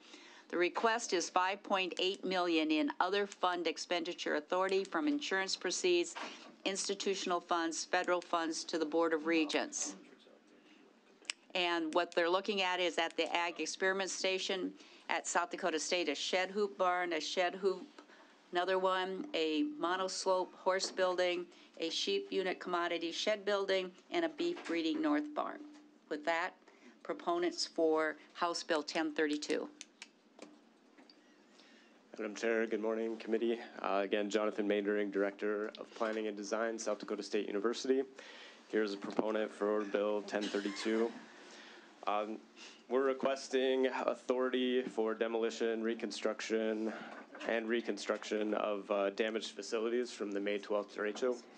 Uh, facilities include, um, as stated by Madam Chair, uh, two hoop structures, two fabric hoop structures, which the university is requesting to rebuild as a more durable steel frame, um, steel clad structure, um, two each around 15,000 square feet, uh, replacing the existing square footage that was there. Uh, rebuilding an existing monoslope barn at the former cow calf unit um, on the main campus. Rebuilding a sheep unit commodity shed and reallocating square footage from the beef breeding unit north barn, which was destroyed in the storm, um, to the monoslope structure that would be built at the old cow calf unit. Uh, and that facility would be used for transient animals, which has been identified as a need for the College of Ag. With that, um, I open it up for questions. Thank you. Further proponents of House Bill 1032? Further proponents? Are there any proponents online? None online. Are there any opponents to House Bill 1032? Any opponents? Any opponents online? Seeing none, open it up for committee questions. Senator Wink. Thank you, Madam Chair. So this is rebuilding uh, the, the destruction of, of facilities on campus. This has nothing to do with the research center down by Philip. Is that a, that's, a- didn't that have some damage also or not? Uh, Madam Chair? Go ahead. Uh, yes, it did, um, but these, these particular projects are all on the main campus or near the main campus Okay. in Brookings. Thank you. I do have a question. Do you have a breakout, how much is from insurance, institutional, and federal funds? Uh, Madam Chair, we don't have that today. I can give you kind of a rough estimate, uh, percentage-wise. Uh, the majority of the projects would be paid for with university funds, um, somewhere between four and five million of the 5.8. And the remaining balance would be paid for with insurance proceeds and um, FEMA funds, federal funds.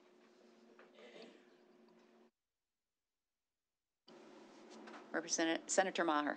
When you say university funds, are you referring to HEF dollars? Madam Chair. Um, no, it would not be HEF, HEF dollars, uh, likely Ag Experiment Station funds. Well, then just a follow-up. Are there any HEF dollars utilized in this pro- project? Madam Chair. No, there are no HEF funds being allocated to this project or any of these projects.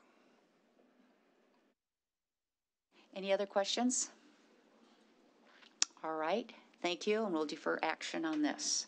Next bill is Senate Bill 33, which amends an appropriation for the revised construction costs of the mineral industry buildings at the School of Mines of Technology and to declare an emergency. And I believe that increase is 7.8 million. Is that correct? I'm looking at the proponent.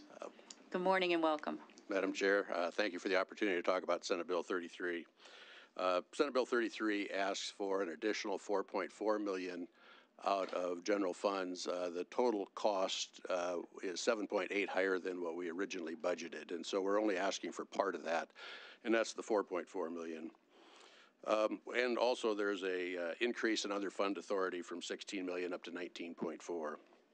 Uh, back in 2021, the legislature, you all appropriated $19 million in general fund and $16 million in other expenditure authority to build the mineral industries building. In that mineral industries building, we have four academic departments mining engineering, metallurgical engineering, geology, and geological engineering.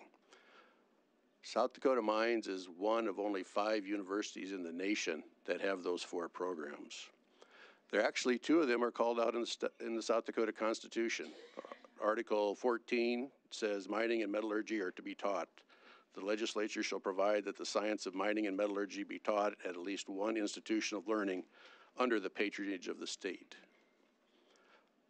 A critical piece or a very important piece of the education that students get in that particular building is how we handle the national security issue of critical minerals. As pointed out in several executive orders, 31 of the 35 critical minerals for our national security are imported from other countries. We need people that understand how to handle and find new critical materials, minerals, and how to recycle them as we move forward. The current building cost is at $41.8 million. That's an increase of 7.8. Senate Bill 33 asks for $4.4 million. Just to give you a data point, when we were here in 2021, this building was designed before the pandemic, before inflation hit. That original building had a cost of $377 a square foot. The cost right now is $655 a square foot. There was no way to predict that that inflation was going to hit like that. We've taken a lot of steps to reduce that cost. We went from a 90,000 square foot building down to a 63,800 square foot building. We moved the building from its original site to a spot on our quad, saving $2 million in site preps and utility relocation. We had 30 different value engineering proposals that we put in place uh, to reduce the cost. One example that, that I will mention is our architects and uh, contractors estimated that plumbing would be $2 million in this building. The first estimate we got back was from one bidder, and it wasn't an official bid. $8 million. And so that was just one area. So plumbing and HVAC were areas that we did a lot of value engineering. So again, Senate Bill 33 asked for an additional $4.4 million in general funds so that we can finish out all of the building and not just have shelled out space. And uh, we are contributing from the state as well. So I will stand by for questions. Thank you. Thank you. Further proponents for Senate Bill 33? Further proponents? Good morning and welcome.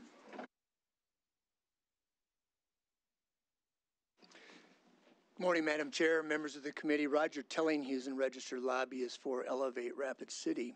Uh, please don't confuse me with my predecessor, Anna Hayes. I know we bear a lot, striking resemblance to one another.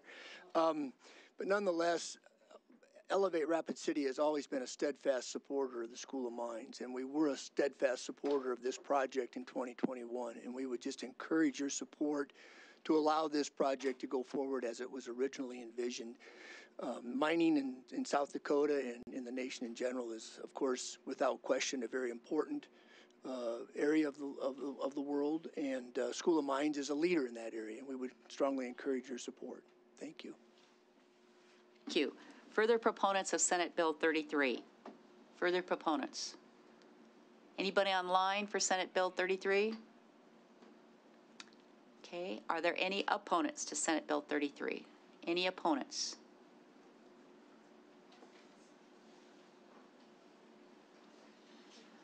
Good morning and welcome. Good morning, Madam Chair, members of the committee. My name is Brandy Meisner with the Bureau of Finance and Management. As you have heard this morning, Senate Bill 33 would address rising construction costs associated with the mineral industries building at the School of Mines. This project was legislatively authorized during the 2021 session for a cost of $35 million in total funds. 19 million of this was general funds, or around 55% of the overall cost. When BOR presented their list of projects that were experiencing um, overages during budget season this fall, an additional $4 million in general funds was requested to address cost overruns associated with this project. As budget discussions continued, the School of Mines indicated that they would actually need a minimum of 5 million to complete the project, or a total of 7.8 to fully finish the project. In order to address the cost overruns associated with this project, the governor recommended an additional $2.75 million in general funds be allocated towards this project. This recommendation was determined based on the percentage of general funds allocated towards the original appropriation. While we're generally supportive of this project, we support the $2.75 million that was included in the governor's recommended budget. Thank you, and I'll stand by for any questions.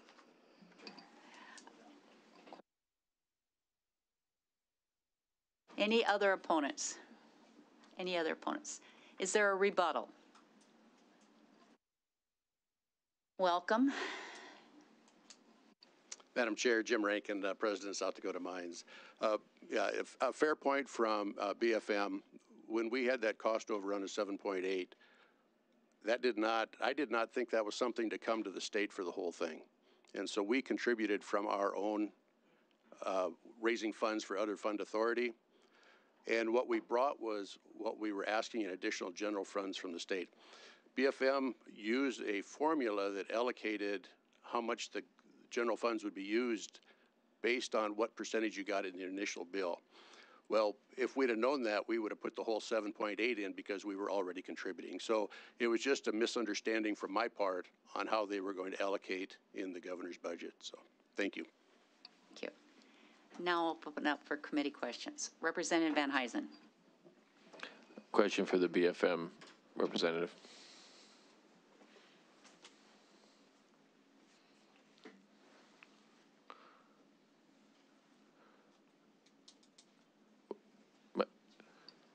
We have a number of these bills that are doing uh, construction inflation for various projects. The methodology you described where you're only funding the portion of the overrun that correlates with the state funding of the project, is that being used consistently across all of these requests, uh, such as the state health lab? Madam Chair. Um, you know, we kind of evaluated each project differently. The health lab and a couple of the bills that were here later today that dealt with the um, capital project funds dollars, those were evaluated a little bit differently than this project was. So you did use different methodologies for some of those, is what you're saying? Madam Chair, yes. All right, thank you. Okay, just a minute. Representative Derby. Thank you, Madam Chair. Um, Just looking at Senate Bill 33 here, and for me, it's always dangerous to do math in public, but um, 23 million, uh, 400,000 plus 19 million, 400,000 is 42 million, 800,000. And the bill says for 41 million, 800,000. Can, can you help me with the difference, or where, where am I a million off? Madam Chair. So the original appropriation was for thirty-five million total, so it was nineteen million general funds and sixteen million dollars in other fund authority. Um, the governor in her recommended budget had in, um, recommended the two point seven five million, and I believe that BOR in their, in their bill had four point four million in general funds and then three point four million in other funds. Madam Chair, follow up. Go ahead. The, the bill originally says 34 million. Madam Chair. Go ahead. I believe that that was amended, um, from when it was Did we get, originally introduced. Um, it was the nineteen million and the, and the I sixteen. don't see an amendment to that. You're looking at different sections of the bill, I think.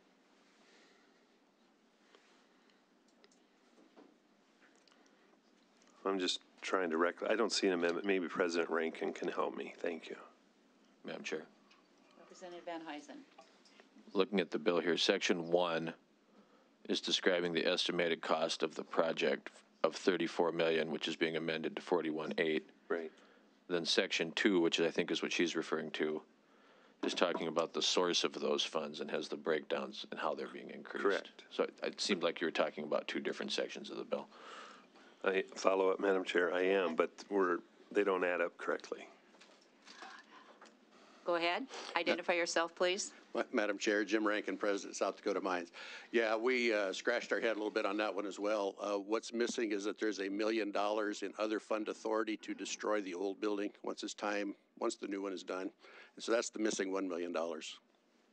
Thank you. Madam Chair. Senator Kolbeck. Thank you, Madam Chair. This is probably more of a comment than a, than a question. But we've heard like three different funding bills this morning, and it seems to me like if you're going to throw out an amount of uh, a million dollars or $2.7 million, and we don't really know what we're going to get with that, or if that's even an amount that's going to work. And I'm not a contractor, but if I knew as a contractor that the Appropriations Committee had already budgeted 2.7 or 1 million dollars to these projects, what do you suppose my bid's going to be? Whether it's going to be higher or lower? I'm just making a comment here because I think it's kind of frustrating to me that we do not know exactly, you know, where the dollar amount, where we're going to end at here. And I know that it, construction costs, supply chains, workforce has all been kind of a, up in the air the last year or two, but I think that, you know, for me to make an educated decision on something like that, I would think that a, that a more accurate number or like to our, good friend, the engineer over there, that we would have some kind of an idea is exactly what we're going to end up putting our name on here. And not just a, an eagle in the sky flying around. I just thought I'd throw that little bit out there today, but I I really I think that'd be to your best to have more of a accurate amount to this than what we can you know than what we've been presented today. But that's just a comment I'm making. If you want to make a comment on that, President, I'd appreciate it. Thank you. Madam Chair, uh, uh, Jim Rankin, President of South Dakota Mines. Uh, No, very, very good, very good. Our uh, question, you know, we've already had bids. We've actually started construction on this building. Uh, The footers are in place. You can actually look at a webcam on our um, website, university website, to see where it's at. This project was done as a construction manager at risk project, so we know what the bids were when they came in last fall.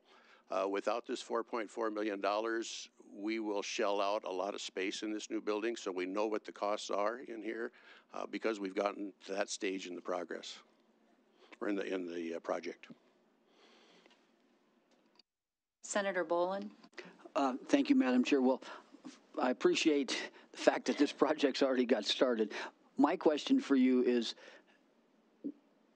when, when, i- i- if this money would not be appropriated, when would you conclude the construction phase that you have, you would have and still have kind of a shelled out, some spaces kind of just a shell? When would that be concluded, do you think?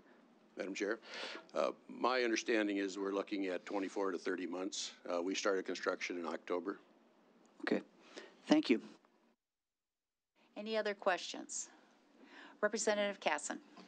Yeah, thank you, Madam Chair. Uh, President, just curious, um, it says, uh, other fund authority of, for going from 16 million to 19.4.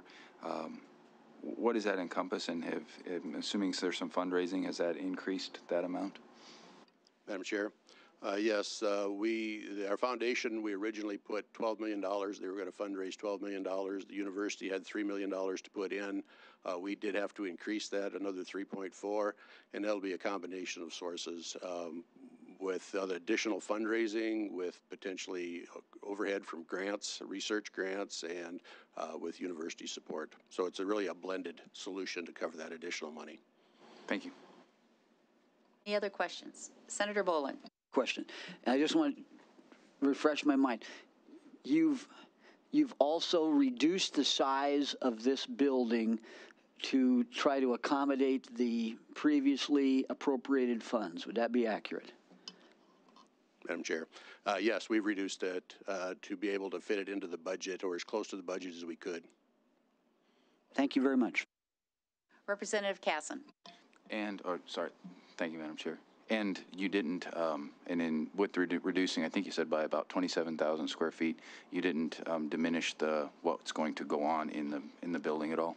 Madam Chair? Uh, Yes, we went from 90,000 down to 63,800 square feet. Um, We still have what we need. We would have added, liked to added some other space in there because space is on tight, but we do meet the requirements we had for the building at 63.8. Any other questions? Seeing none, thank you. Defer action on this bill.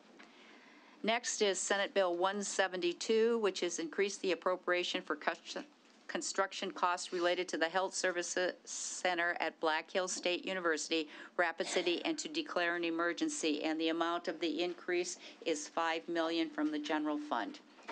Good morning, proponents for Senate Bill 172. Good morning, Madam Chair. Um, My name is Senator Bryan Breitling from District 23. Uh, Welcome. It's uh, good to be in front of you all today. Okay, Senate Bill 172 is an increase in the appropriation for construction costs related to the West River Health Sciences Center at Black Hill State University, Rapid City, and to declare an emergency. Most of you know that in 2022, the legislature approved the West River Health Science Center in Rapid City with Senate Bill 43.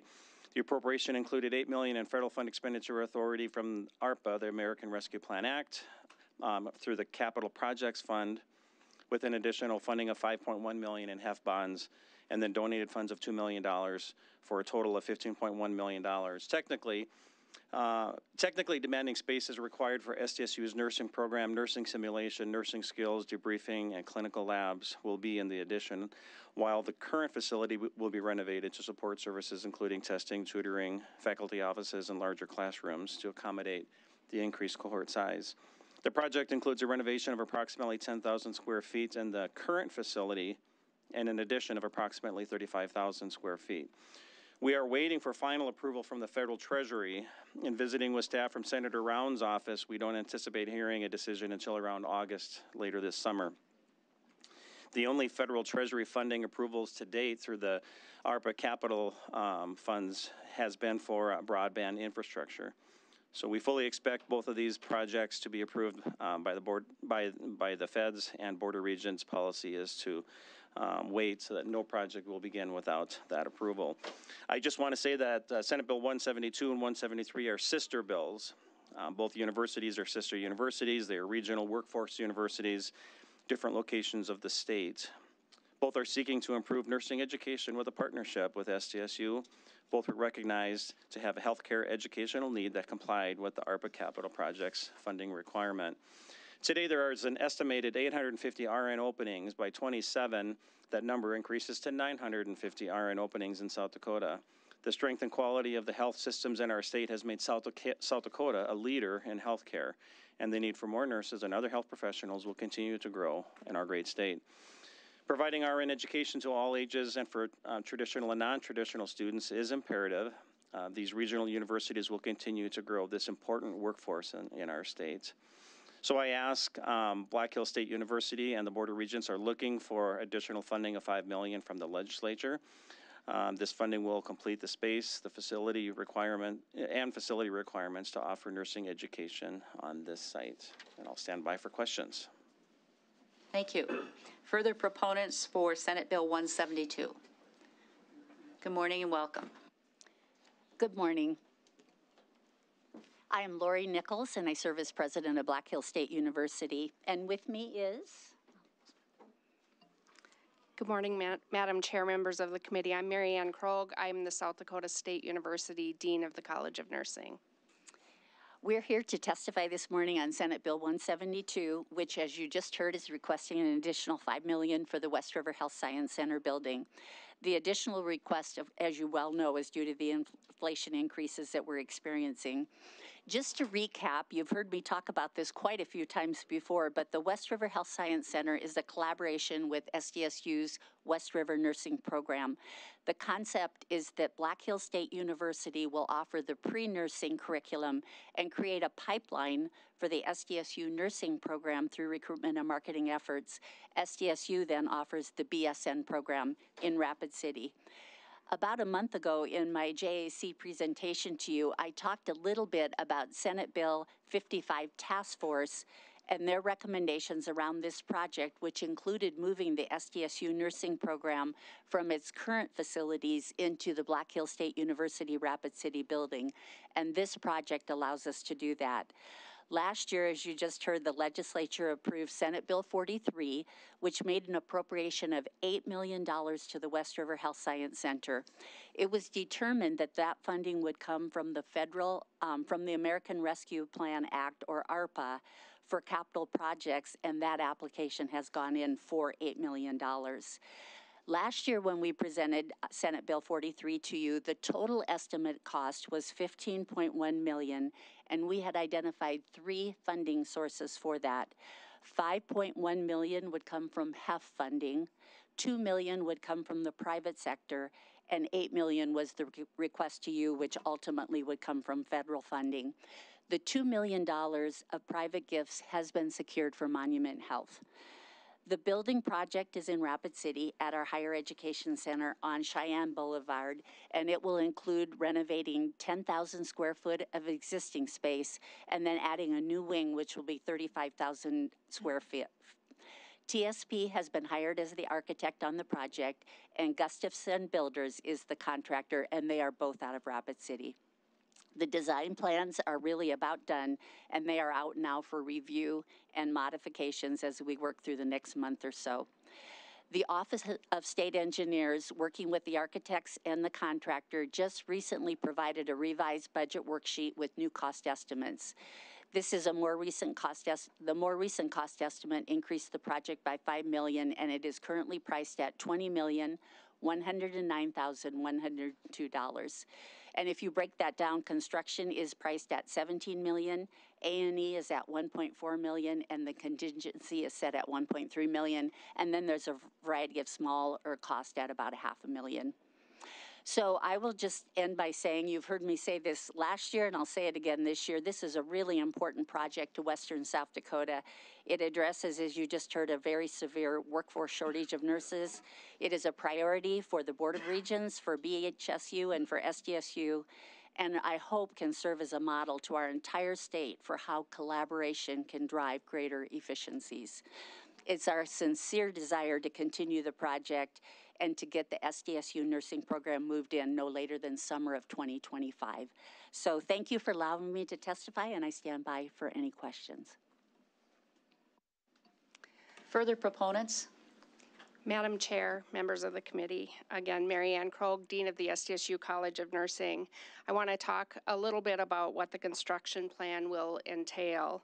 Um, as mentioned before, it will consist of two parts. First of all, renovation, renovation, renovation, excuse me, of the existing space to provide support facilities for expanded student and faculty uh, population in the building, and then a new addition to support nursing instruction. The renovated space will include uh, space for testing center, tutoring, student support and faculty offices, the Native American Nursing Education Center, and then enlarged classrooms to meet the needs of larger cohort sizes. The new addition will primarily be used for instructional needs of the nursing program, such as simulation, skills labs, pre-briefing and debriefing, telehealth, and clinic rooms. Additionally, further faculty offices, student study spaces, and meeting spaces will be in the new addition. This renovation of existing spaces and the additional space with this project will allow us to increase our cohort sizes in Rapid City up to 120 students per semester in our standard cohort, along with our accelerated cohort of 48 students per year. This modernization is critical to recruitment efforts and uh, to bring all of our faculty at, uh, under one roof. Currently, we are housed in three separate spaces spread across Rapid City. This will help us to meet the nursing workforce needs in South Dakota. I stand uh, ready for questions. Thank you. Further proponents for Senate Bill 172? Further proponents? Good morning and welcome. Good morning, Madam Chair, members of the committee. Jennifer Stalley on behalf of the South Dakota Nurses Association. And we would just attach our support to the comments of the president and the dean. We see this as a wonderful opportunity for our nursing students and certainly an opportunity to meet the challenges that we're seeing in our nursing workforce. So the addition of um, the slots that this particular project bring for, brings forward are important for our healthcare need, and we would support adding the money so that the project can be finished as proposed. Thank you. Thank you. Further proponents for Senate Bill 172. Good morning and welcome. Madam Chair, committee members, Doug Abraham. I'm an attorney from Pierre, registered lobbyist for the South Dakota Association of Specialty Care Providers. Uh, our members include uh, the Black Hills Physician-Owned Surgical Hospital and, and, the Sioux Falls Specialty Hospital. Uh, this project is of critical importance uh, to the Black Hills Surgical Hospital. Nursing shortages have impacted our surgical and urgent care facilities and will continue to have negative impacts on the delivery of care for the foreseeable future. This facility will help to alleviate some of those shortages and increase care availability to our Western South Dakota surgical patients and local urgent care patients. So we'd encourage your favorable support. Thank you. Thank you. Further proponents of Senate Bill 172? Good morning and welcome again. Good morning, Madam Chair, members of the committee. Roger Tellinghuisen, registered lobbyist on behalf of Elevate Rapid City as the uh, development arm of the Rapid City Chamber of Commerce, Elevate, obviously, is very interested in measures like this that will enhance the climate, if you will, for prospective employers that are looking at coming to South Dakota. One of the issues that prospective employers obviously look at are not only schools, but also health care that's available to their future employees. So we strongly endorse this, this proposal and hope that you will too. Thank you. Thank you. Any further proponents for Senate Bill 172?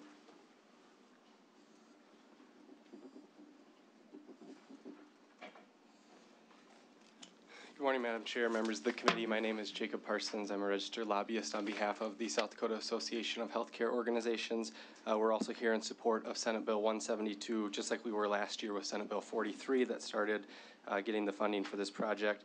Uh, this facility would help to provide education in the future for nursing and other allied health professional. Uh, workforce really is the number one issue for both our hospitals and long-term care providers in the state. Uh, and with that, this would just help to uh, address that critical need. So we'd ask for your favorable support, and I'll stand by for questions. Thank you. Thank you. Further proponents of Senate Bill 172? Further proponents? Anyone online that is a proponent? Seeing none, are there any opponents? To Senate Bill 172. Good morning and welcome back. Good morning, Madam Chair, members of the committee. My name is Brandy Meisner with the Bureau of Finance and Management. As you've heard today, Senate Bill 172 seeks to address rising construction costs associated with the West River Nursing Project at BHSU. This project was legislatively authorized last year and partially funded with capital project funds, which are still pending Treasury approval. This project was included in the list of projects that BOR presented this fall during budget discussions as one experiencing $4.5 million in cost overages. Since we do not have Treasury approval yet, BOR indicated that they had had had had building committee meetings at that time, um, but many of the decisions associated with this project are still pending and have not been finalized. Since construction has not started, BOR signaled that they had had conversations with architects um, who indicated capital projects like these had seen bids at 30% over the original cost. While we're generally supportive of this project, the cost overages were based on inflationary estimates rather than concrete figures. For this reason, we are opposed to adding additional general funds at this time until more is known about the exact need. I respectfully ask that you oppose Senate Bill 172 at this time until more is known about the exact costs. Thank you, and I'll stand by for questions. Thank you. Just a minute, we're not into that yet. Further opponent testimony. Further opponent.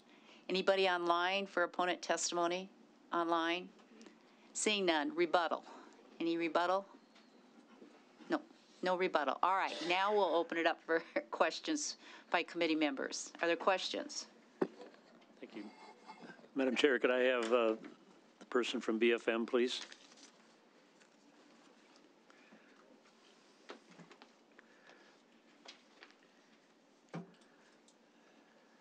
Morning.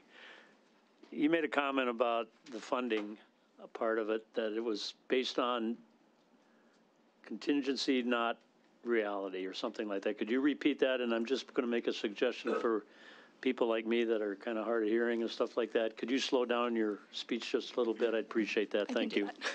Madam Chair, um, yes, so whenever we were having budget discussions with BOR in the fall, um, they had indicated that they had had some conversations with architects, that capital projects like this were seeing 30% um, bids ab- over what the original estimate was. Further questions from the committee? I would have one. Rep- Senator Maher. So I guess this is probably for the board.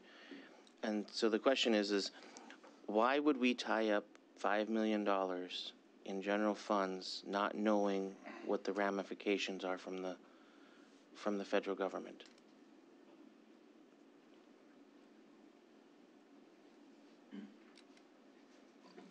Good morning, Madam Chair, members of the committee. Heather Forney, Vice President for Finance and Administration for the Board of Regents. Again, um, Senator Maher, um, while we do not know yet what's going to be authorized by the feds, when it will be authorized by the feds, we are confident that the cost will be in excess of what was originally appropriated or authorized.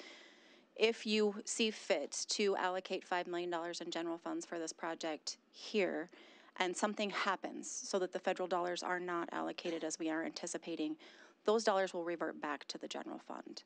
And so we can't get going with the project until we get the dollars. Um, and we, we, we can't hold up then for another year of legislative session, which is why we're here now asking for these additional dollars. Again, with the intention that if something happens with the Treasury, we would revert those funds right back to the general fund.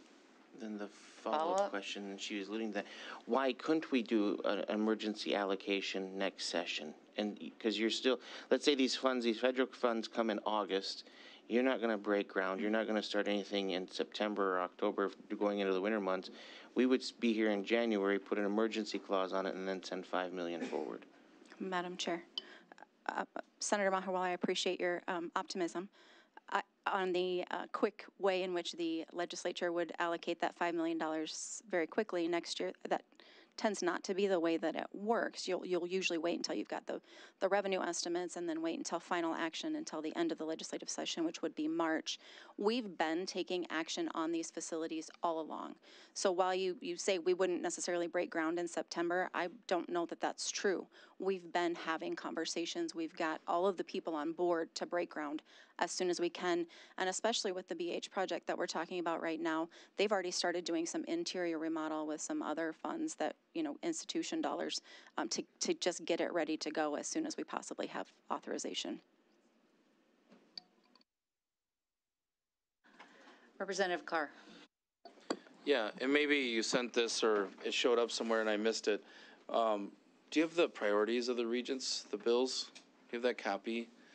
Madam Chair, we do have the list of priorities, um, and I can send it to you again. It, it was in this fiscal year twenty-four budget request, and these projects are specifically listed on page fourteen. Um, we packaged everything together as what we called, um, support for rising construction costs, um, for a total package at that point of twenty-nine million dollars. Um, and these are just kind of sub-components, as, uh, Dr. Maher mentioned. They're included in our priority list, but have been separated out, um, individually. Yeah, and follow. Thanks. Thank you. And I have that book, so I can look that up. Um, are they prioritized, like, in, in, a, in order? M- Madam Chair, they are not, they're listed alphabetically, and actually, some of the items that were listed here, we have, we've kind of s- pulled back. Um, so even though the list includes, for example, a million dollars for the EY Berry Library, we did not submit legislation for that. We completed it, um, within the funding that we had, making some adjustments or adding some additional donated funds.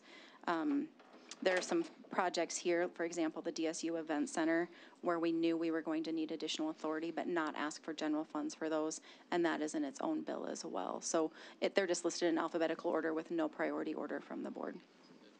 Follow? What I, I guess what I'm asking at this point then is if there is a priority, if there's some of those issues that are more important to the regents, I'd like to know. And you guys can think about it and follow up. Thank you, Madam Chair. Thank you. I have a question for you.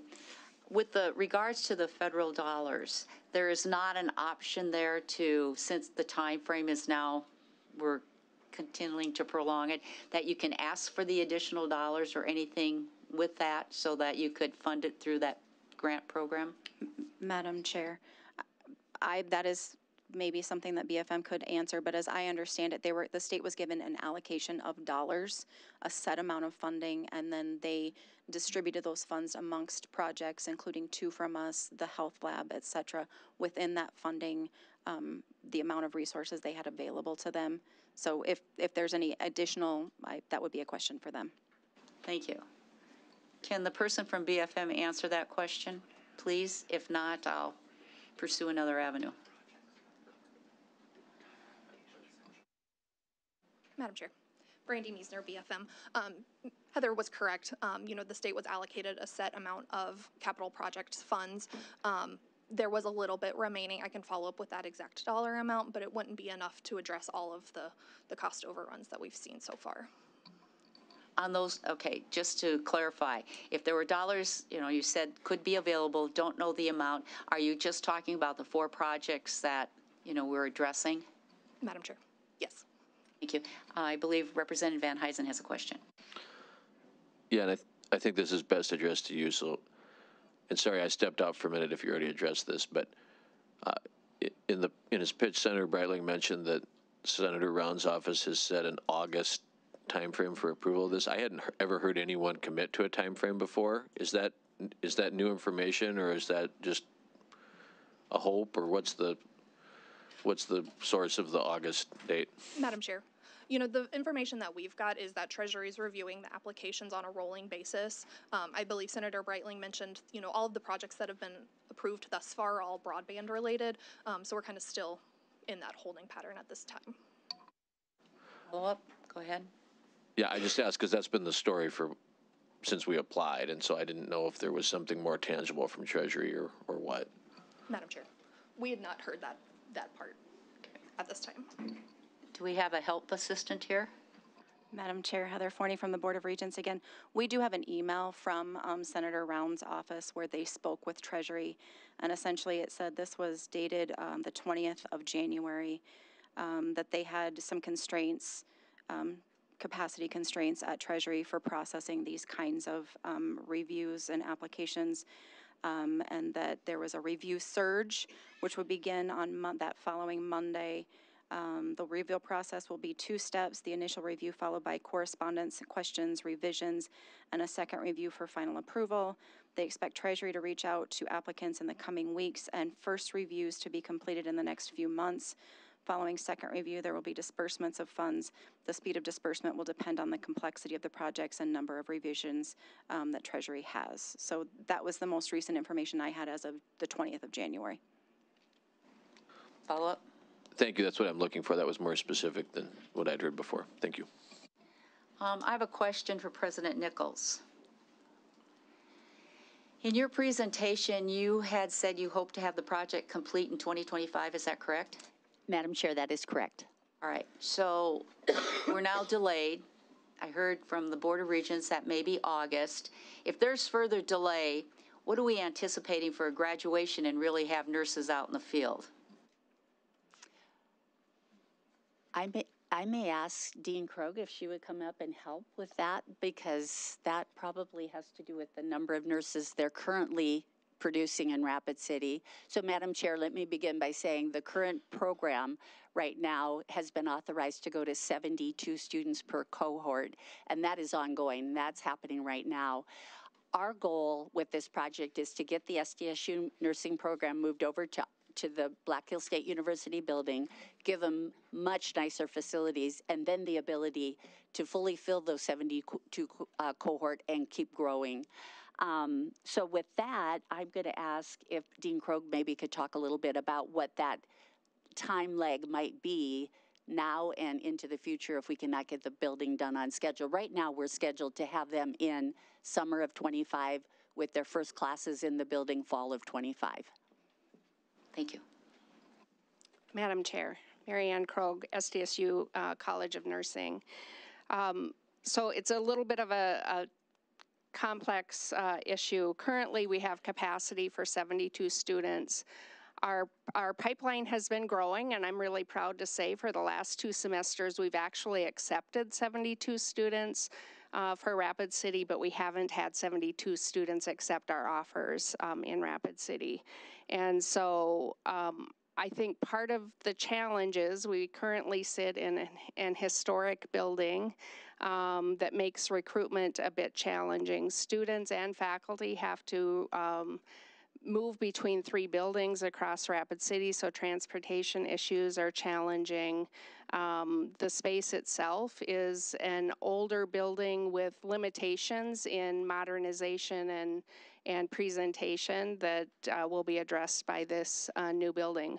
Um, to get more specifically to your question, we are a five semester program. So if we say that in September of 2025, we can start a, cohort of 100, up to 120 students. Uh, that cohort would need five semesters to get to through the program, so that would be uh, December of 27 would be the first group that would graduate from that enlarged cohort. And so when you say enlarge, just to clarify, you're 70 and you're going to go up to 120. That's Is that our correct? that's our goal. Yes. Okay, so it'll be 50 more students that we're Mhm. looking at. All right. Yep. Thank you. Representative Venhuizen. Real quick for the dean, is your building historic or just old? We're very grateful for the um, use of the space that we've had. Um, I, I'll leave it at that.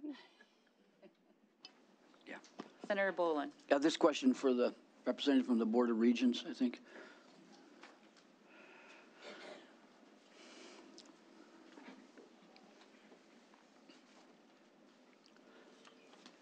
Thank you, Madam Chair.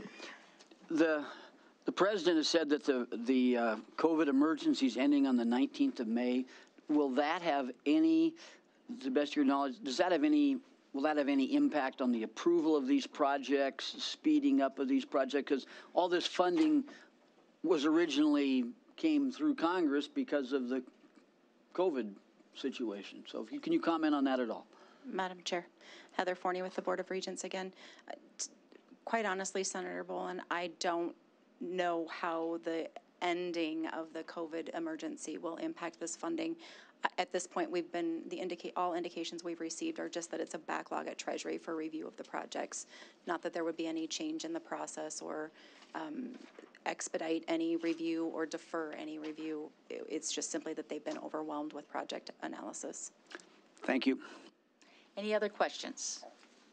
All right, thank you. We will defer action on Senate Bill 172, and we will move to Senate Bill 173, increase the appropriation for construction costs related to the new Lincoln Hall at Northern State University, and to declare an emergency. And I believe this is a request of an additional 5 million from general funds. Good morning and welcome, proponent. Thank you, Madam Chair. I am uh, Senator Bryan Breitling, um, assisting with uh, Senate Bill 173, like you said, to increase an appropriation for the construction costs related to the new Lincoln Hall project at Northern State University and to declare an emergency. The 2021 South Dakota Legislature authorized the Lincoln Hall project with Senate Bill 44. The appropriation included 29.5 million of federal fund expenditure authority from the American Rescue Plan Act, ARPA, Capital Projects Fund. Project costs were estimated in December of 21 and have since increased substantially. The newly constructed space will create business classrooms, social learning spaces, nursing classrooms, simulation labs, a Center for Innovation and Entrepreneurship incubator space, and a relocated administration office or admissions office. As uh, most of you know, Northeast South Dakota nursing and other healthcare programming needs will only increase with the recent closing, announcing closure of uh, Presentation College. We are waiting for final approval from the federal treasury as we discussed um, in the previous bill as well. As stated, Senate Bill 172 and 173 are sister bills. Both universities are sister universities, regional workforce universities at different locations of our state, and so very compatible along all of those lines. Both are seeking to improve nursing education with the partnership with SDSU. Both were recognized as um, having a, a healthcare educational need that complied with the ARPA Capital Projects Fund requirement. We discussed earlier um, the need for currently 850 RNs. By 27, that number will be 950 RNs. Um, and so, again, this, this need is in all parts of the state, much less in, in one or two. Providing RN education to all ages and for traditional and non-traditional students is imperative. These regional universities will continue to grow this important workforce in our state. Northern State University and the Board of Regents are seeking an additional funding of $5 million from the legislature. This funding um, will complete the space and facility requirements to offer expanded nursing and business education. There are several more proponents that would like to give testimony on this, and so in closing, I just ask for your support for Senate Bill 173. Thank you. Further proponents for Senate Bill 173. Good morning and welcome.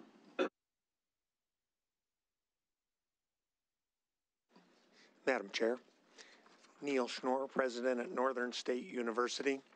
Uh, Thank you to Senator Breitling for outlining uh, our request today. I want to begin by thanking the legislature for approving the project last year. It is pivotal uh, to Northern and to our region. The project is driven by governor's workforce, the governor's workforce initiative, the Board of Regents workforce gap analysis, and critical workforce needs in business and nursing. The gap analysis identified the highest business workforce gaps are in business administration and management, finance and accounting.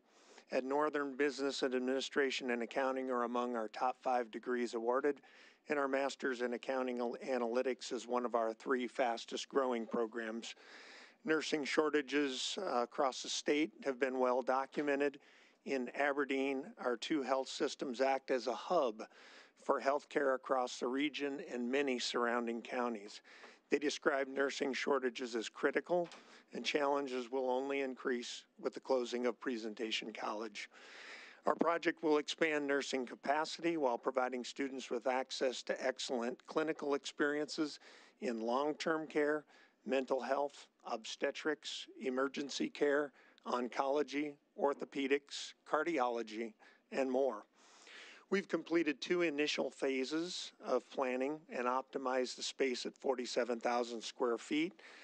As Senator Breitling uh, mentioned, that includes business and nursing classrooms, expanded nursing simulation labs, an innovation and entrepreneurship center, conferencing and incubator space, and technology-rich integrated social learning spaces.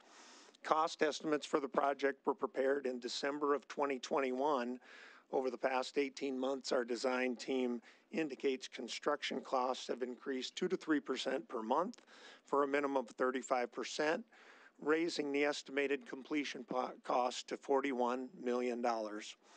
Our three-pronged approach to closing that approximately $12 million gap includes this $5 million request for general funds. Second, we have raised over $2 million and will raise additional funds to bring the project to completion. Finally, we will continue to optimize space and engage our design team in value engineering. The Lincoln Hall project is vital to meeting critical business and workforce needs in our region and state, and this funding is necessary for completion. Thanks for listening today, and we'll stand by for questions. Thank you. Further proponents of Senate Bill 173. Good morning and welcome. Thank you, Madam Chair. Jennifer Stalley on behalf of the South Dakota Nurses Association, and we would again lend our support to this bill. Um, as the president outlined, there is an opportunity here for increased capacity in nursing students and therefore the nursing workforce, and we would support uh, the additional funds to finish the, that project so that we can bring that to fruition. Thank you. Thank you. Further proponents of Senate Bill 173?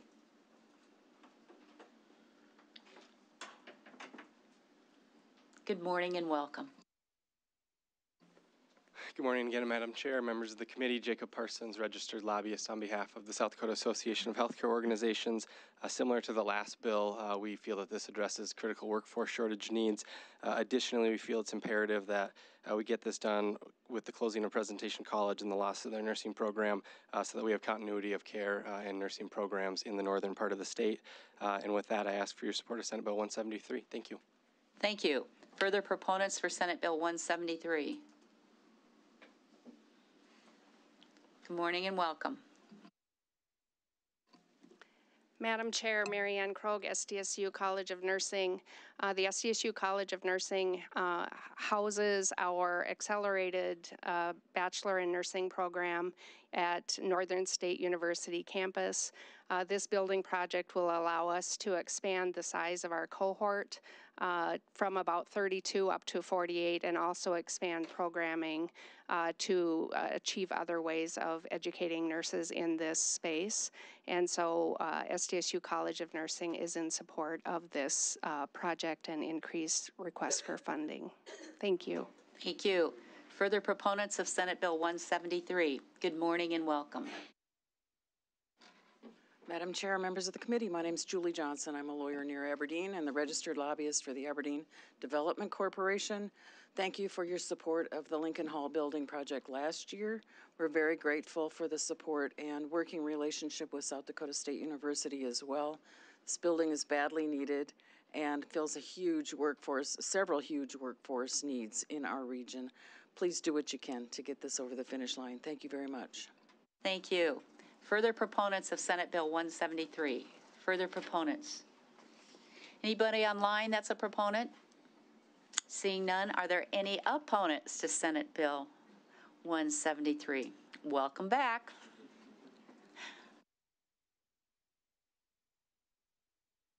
Good morning, Madam Chair, members of the committee. My name is Brandy Meisner with the Bureau of Finance and Management. As you've heard today, Senate Bill 173 seeks to address rising construction costs associated with the Lincoln Hall renovation at NSU. This project was legislatively authorized last year and funded with capital project funds, which are still pending Treasury approval.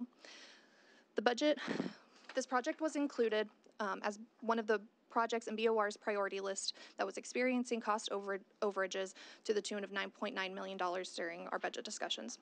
Since we don't have Treasury approval, BOR indicated that they had selected an architectural firm and contractor, but development is still on hold pending Treasury approval.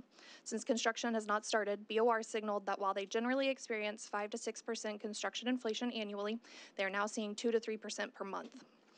While we're generally supportive of this project, the cost overage was based on inflationary estimates rather than concrete figures. Additionally, the five point the five million dollars included in this bill is significantly different than the 9.9 million that was requested during the fall. For these reasons, we're opposed to adding additional general funds at this time until more is known about the exact need. I respectfully ask that you oppose this bill, um, and I'll stand by for any questions. Thank you. Thank you. Further opponents for Senate Bill 173? Further opponents? Any opponents online? None online. Any rebuttal? Welcome back. Thank you, Madam Chair.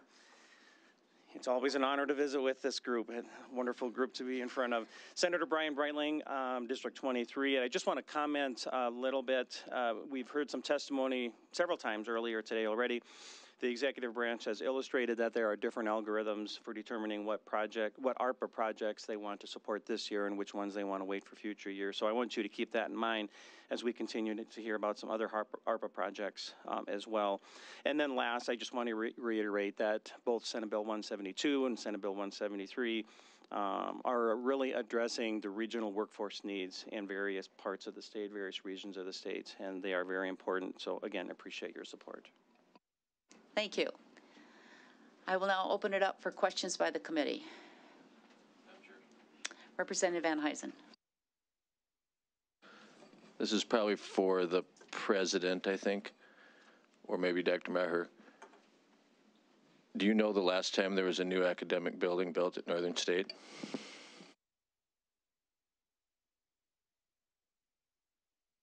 With state funds? Madam Chair, I, I brought my guru of all information along. I'd like to introduce Vice President for Administration and Finance, Veronica Paulson. Madam Chair, um, I believe the last time state funds were received for an academic building at Northern were in 19, 1988 when the Barnett Center building was constructed. Thank you. Did you have a question? Senator Bolin. Yeah, thank you. Um, kind of question I've asked before, I'll ask you folks. Are you confident that if this money would be approved, this would be able to finish the task and that you would not need to return for future funding to finish this project? Madam Chair, uh, Senator, it's really important to us. We, we believe this number 41, we can get it done for that.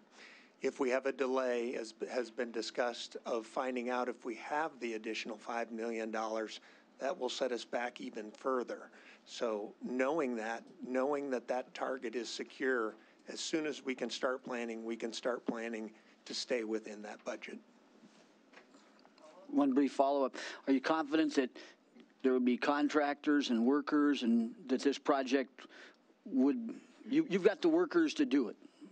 Or, or that, or that your contractors do? That you would Chair? deal with?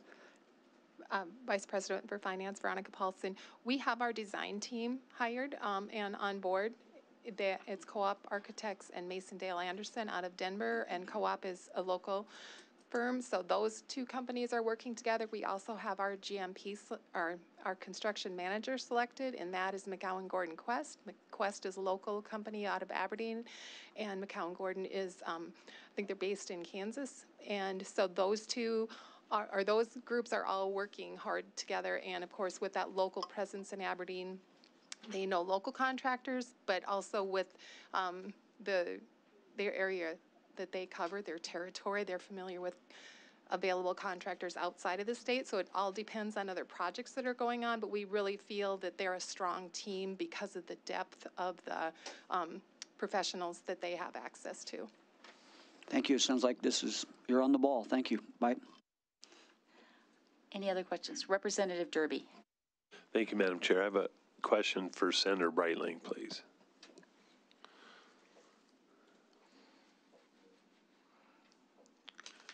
Thank you, Senator.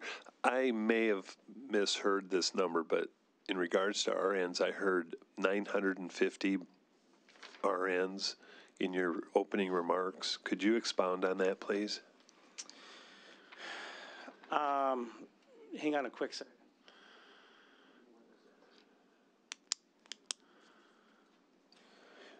The Board of Nursing routinely does a survey, and so currently today, there is a need for 850 RNs. There's basically 850 RN openings. Um, the estimate is that number will project to 950 by 2027.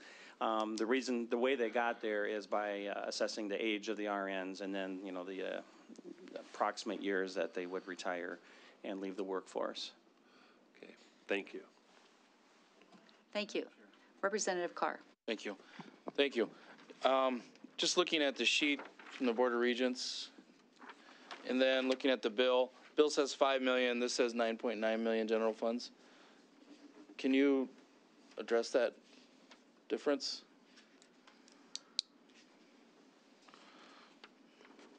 Did you, and I missed it? Madam Chair, members of the committee, Heather Forney with the Board of Regents again. Um, So to, to Representative Karr's question, we, there were still estimated to be significant cost overruns to the tune of almost $10 million. We're here for the request of $5 million in general funds, and then um, I think based on the way the bills are written, we have the authority to go up to 125% of the authorization, and so they'll make up the difference in um, other funds through donations, et cetera. Okay, I'm gonna ask a question. Probably goes back to the, the university then. Um, and the question is, you know, you, you mentioned a great deal of groups, organizations that are involved with this project. So are you actively raising dollars right now to help cover that increase? Or if we don't pass this bill? Madam Chair, so we have actively raised a little over 2 million. That effort continues, and we will continue that effort. That, thank you, Madam Chair. That two million, though, does that help offset some of this five million? Or if there's overruns over the five million, as we get closer to the nine point nine million? Madam Chair, it, it, it would be above the 5 million. We're trying to close that gap on a $41 million project. Okay. Thank you. Representative Venhuizen. President, do you know off the top of your head, or at least have an estimate of how much private money Northern has raised for facilities in the last, call it 10, 12 years? Madam Chair, I believe the amount is right around $115 million in total. Um, During that campaign, there was also additional scholarships raised, so um, we're pushing $150 million of private fundraising in the past about eight to 10 years. I'm sure. And I ask because when I was, have looked at some of this, when you look at the size of the school and the community, the investment that has been put into Northern from donors in the last 10 or 12 years is really staggering uh, compared to any other of, of our schools, certainly of, of its size. And I, I like to keep that context when we talk about looking for private funding for some of these projects that I think they've way stepped up in Aberdeen, and we need to be aware of that. Thank you. Thank you. Any other questions? Senator Maher.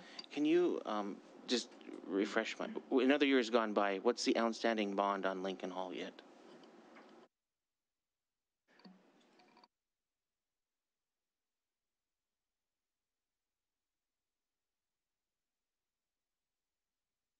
Mr. Chair, or Madam Chair, members of the committee, Heather Forney with the Board of Regents again. Um, As of today, there is $465,000 remaining on the Series 2010A bond on Lincoln Hall, and the term of that would expire in April of 2027. Yep, so then that's come down because it was like 5 million last year.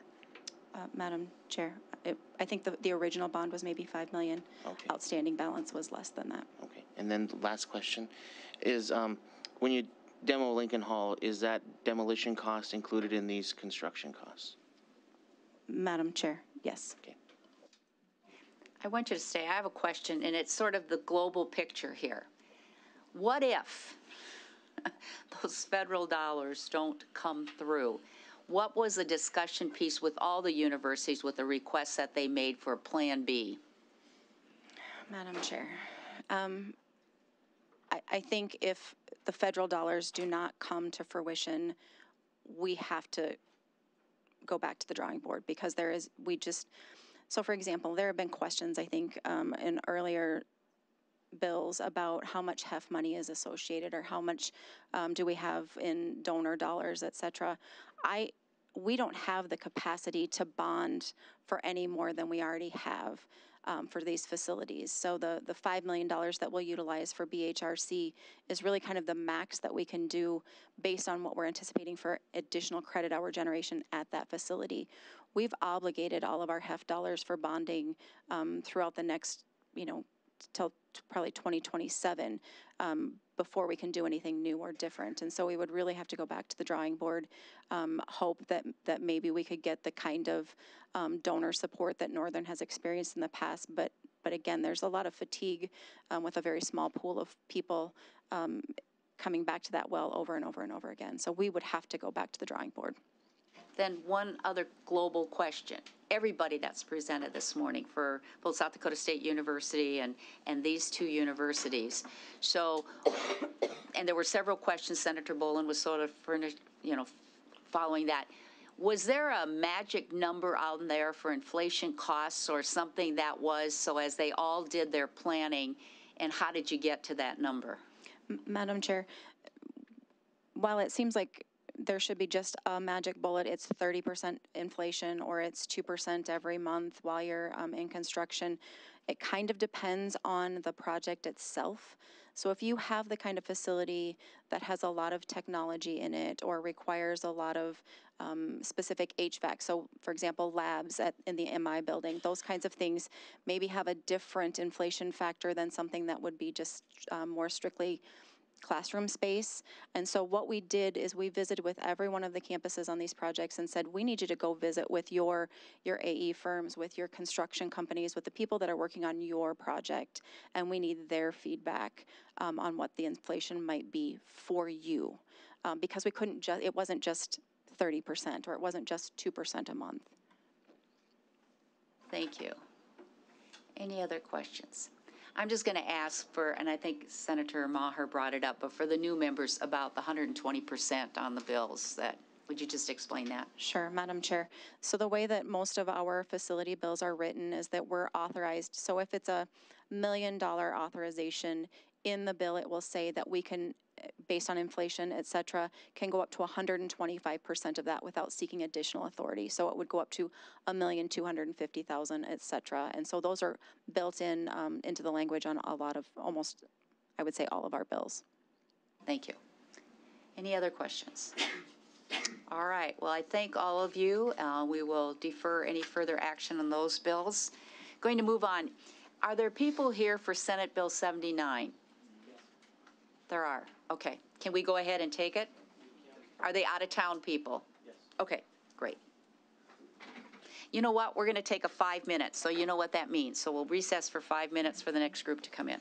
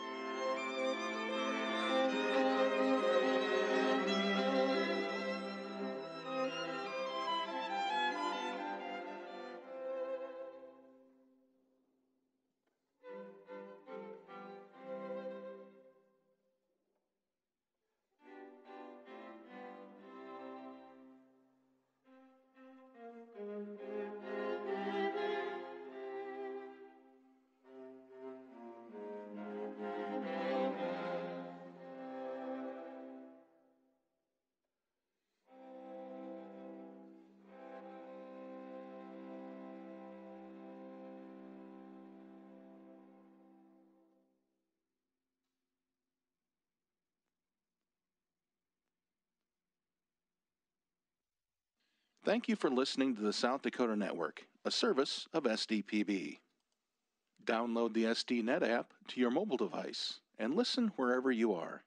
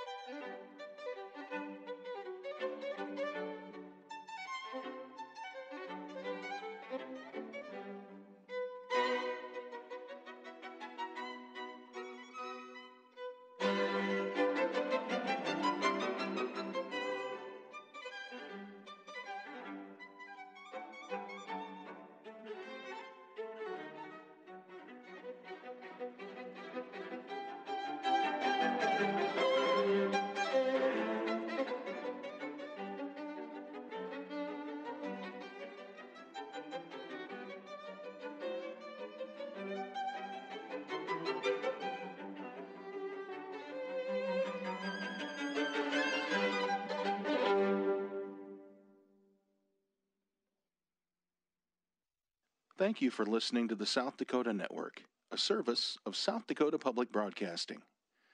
Links to live events and their archives are available at sd.net.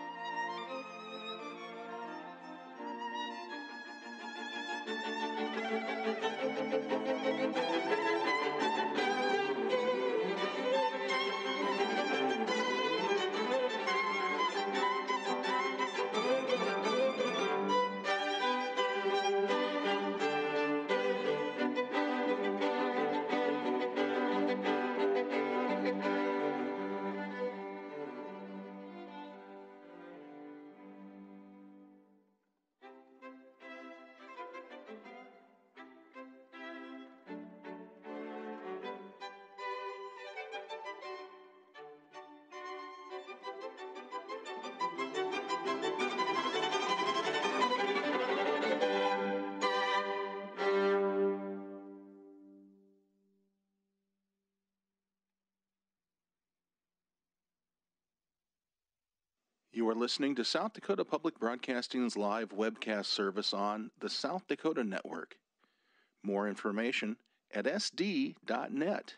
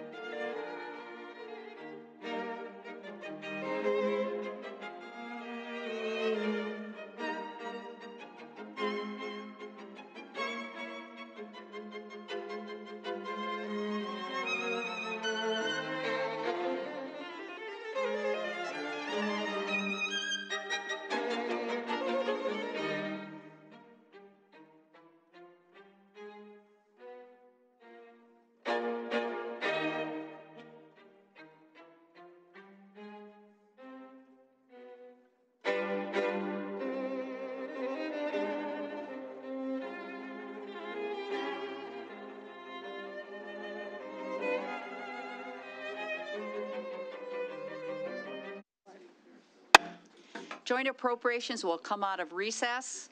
Um, We are adjusting the agenda. We are going to move to and address Senate Bill 79. Just for all of you, we are going to take testimony today, but we are not going to do any action.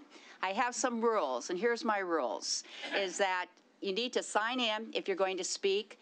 When you speak, be as concise as you possibly can. Please do not be redundant. If somebody has said something, you want the same thing, you can just come up and say who you are or who you represent and say a me too. But it's new information that we want to hear as each of the presenters come up. I've been asked how long we've got um, four bills that we need to address before noon, so I'm going to say, you know, I don't think those will, will take that long, so probably 11:30 we'll need to close it up unless there's more than that. That gives you a little about, little over 25 minutes to do. So with that, um, is our, our pages here or did they leave? You guys, you send the pages out and I always miss introducing them. All right, well, we'll try to catch them when they come back. All right, so with that, we'll move to Senate Bill 79, which makes an appropriation to the Department of Game Fish and Parks to improve and repair infrastructure around Hiddenwood Lake and to declare an emergency. The amount we are talking about is 3.5 million from the general fund from the Department of GF&P and the sum of 1 million in other fund expenditure authority to um, GF&P for the construction and reconstruction of infrastructure at Hiddenwood Lake. Proponents for Senate Bill 79, good morning and welcome. Good morning, Madam Chair. This is, uh, my name is Senator Bryan Breitling from District 23. I'm excited to talk about uh, Senate Bill 79 this morning. Hiddenwood Lake began as a dam built in 1926. After about 20 years, the area was donated to the state forester as a state recreation area in 1947. Development occurred over the years. However, in 2018, there was a significant storm in the area and the dam washed out. I handed out a map to everyone, so if you'll um, take a look at, at this handout that should be in front of you somewhere. Hiddenwood Lake is in the top central part of the map in this gray area right up near the river. As you can see, without this recreation area, there's a vacuum in the north central uh, part of the state. The area uh, does have the Missouri River However, uh, the river recreation is typically reserved for more professional anglers or professional um, river folks. Uh, while these smaller lakes um, and campsites are more family-oriented, um, really oriented to family outdoor recreation, family and community social events, and overall family relaxation. The beautiful trails throughout this lake are almost non-comparable in any of the other parks that I've visited. It's important to the entire state um, to regionally support these types of recre- recreation areas as well. While we've seen some other dam-based lakes flood and wash out, and the state has decided um, not to replace them also in District 23, this area continues to have a very strong following.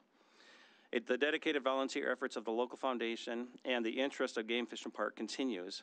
Just last year alone, Game Fish and Parks invested in and rebuilt the new entry road to this campground. The foundation continues to improve the campsites and the walking paths. This project would create a new dam about a half mile downstream. This new dam would make a larger lake for enhanced recreation to grow the number and accessibility of campsites for the future. Game Fish and Parks will participate by putting in $1 million in other funds. Um, this basically comes through habitat, habitat stamp projects, et cetera. Um, the local foundation continues to raise money and contribute in-kind support for the project up to $750,000. The bill asks for a general fund contribution of 3.5 million. As stated, um, there are not many recreation areas in north central part of South Dakota. This project um, would secure a 100-year dam that will enable this area to enjoy recreation for generations to come. And I ask for your support on Senate Bill 79.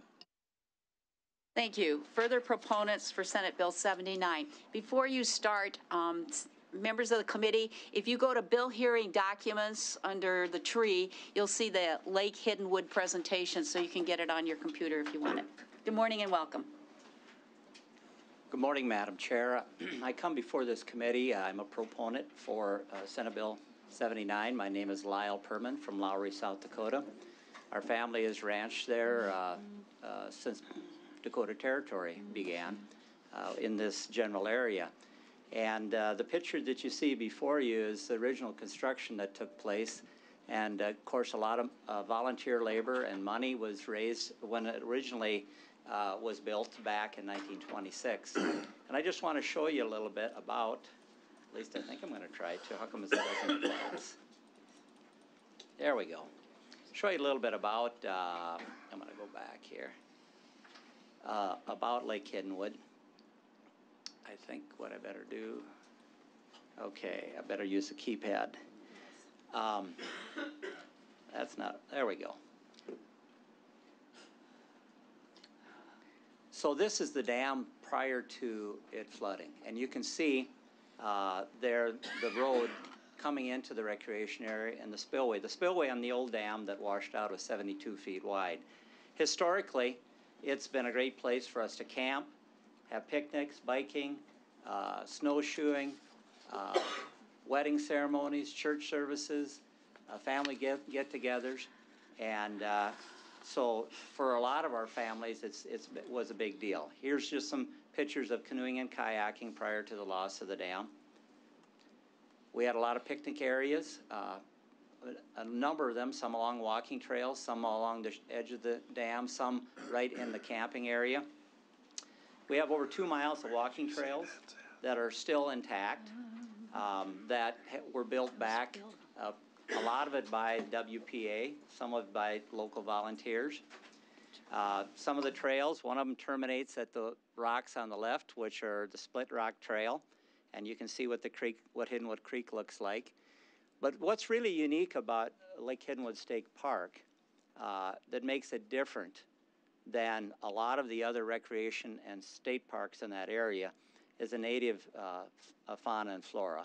On your left, you see a picture of silverleaf buffaloberry, which is a, a native shrub. On your right is a native forb called, called dotted gayfeather. There's also a lot of uh, birds. Uh, many people come to this area to do birding. On your left is an immature double-crested cormorant, and on your right is a yellow warbler. One is prone to live in uh, wet areas, and the other one is a excuse me, where it's forested or where there's trees. But that all changed in May of 2018.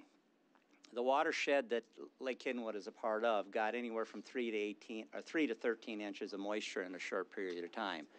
And then, of course, you can see what uh, resulted is we ended up with a lot more water than what uh, many of our dams uh, and bridges could handle. And the result was the dam that we knew in Lake Hiddenwood that got built in 1926 was destroyed. So it not only took out the dam, but prior to the dam going out, we lost three bridges within uh, the property. And this is a picture of the Split Rock Creek uh, Bridge. This is a picture of the Hidden Beauty Bridge, and the Hidden Beauty Bridge is, is the biggest of the three. And then the other one is the Blue Bank Bridge, which was below the dam. And these are not bridges for vehicles, they were bridges for people. So, what do you do when you're a community that lost one of the hearts of, of your community, one of the major gathering places? Uh, you know, first of all, you're hoping the state does something, but it became apparent very soon that that wasn't going to happen.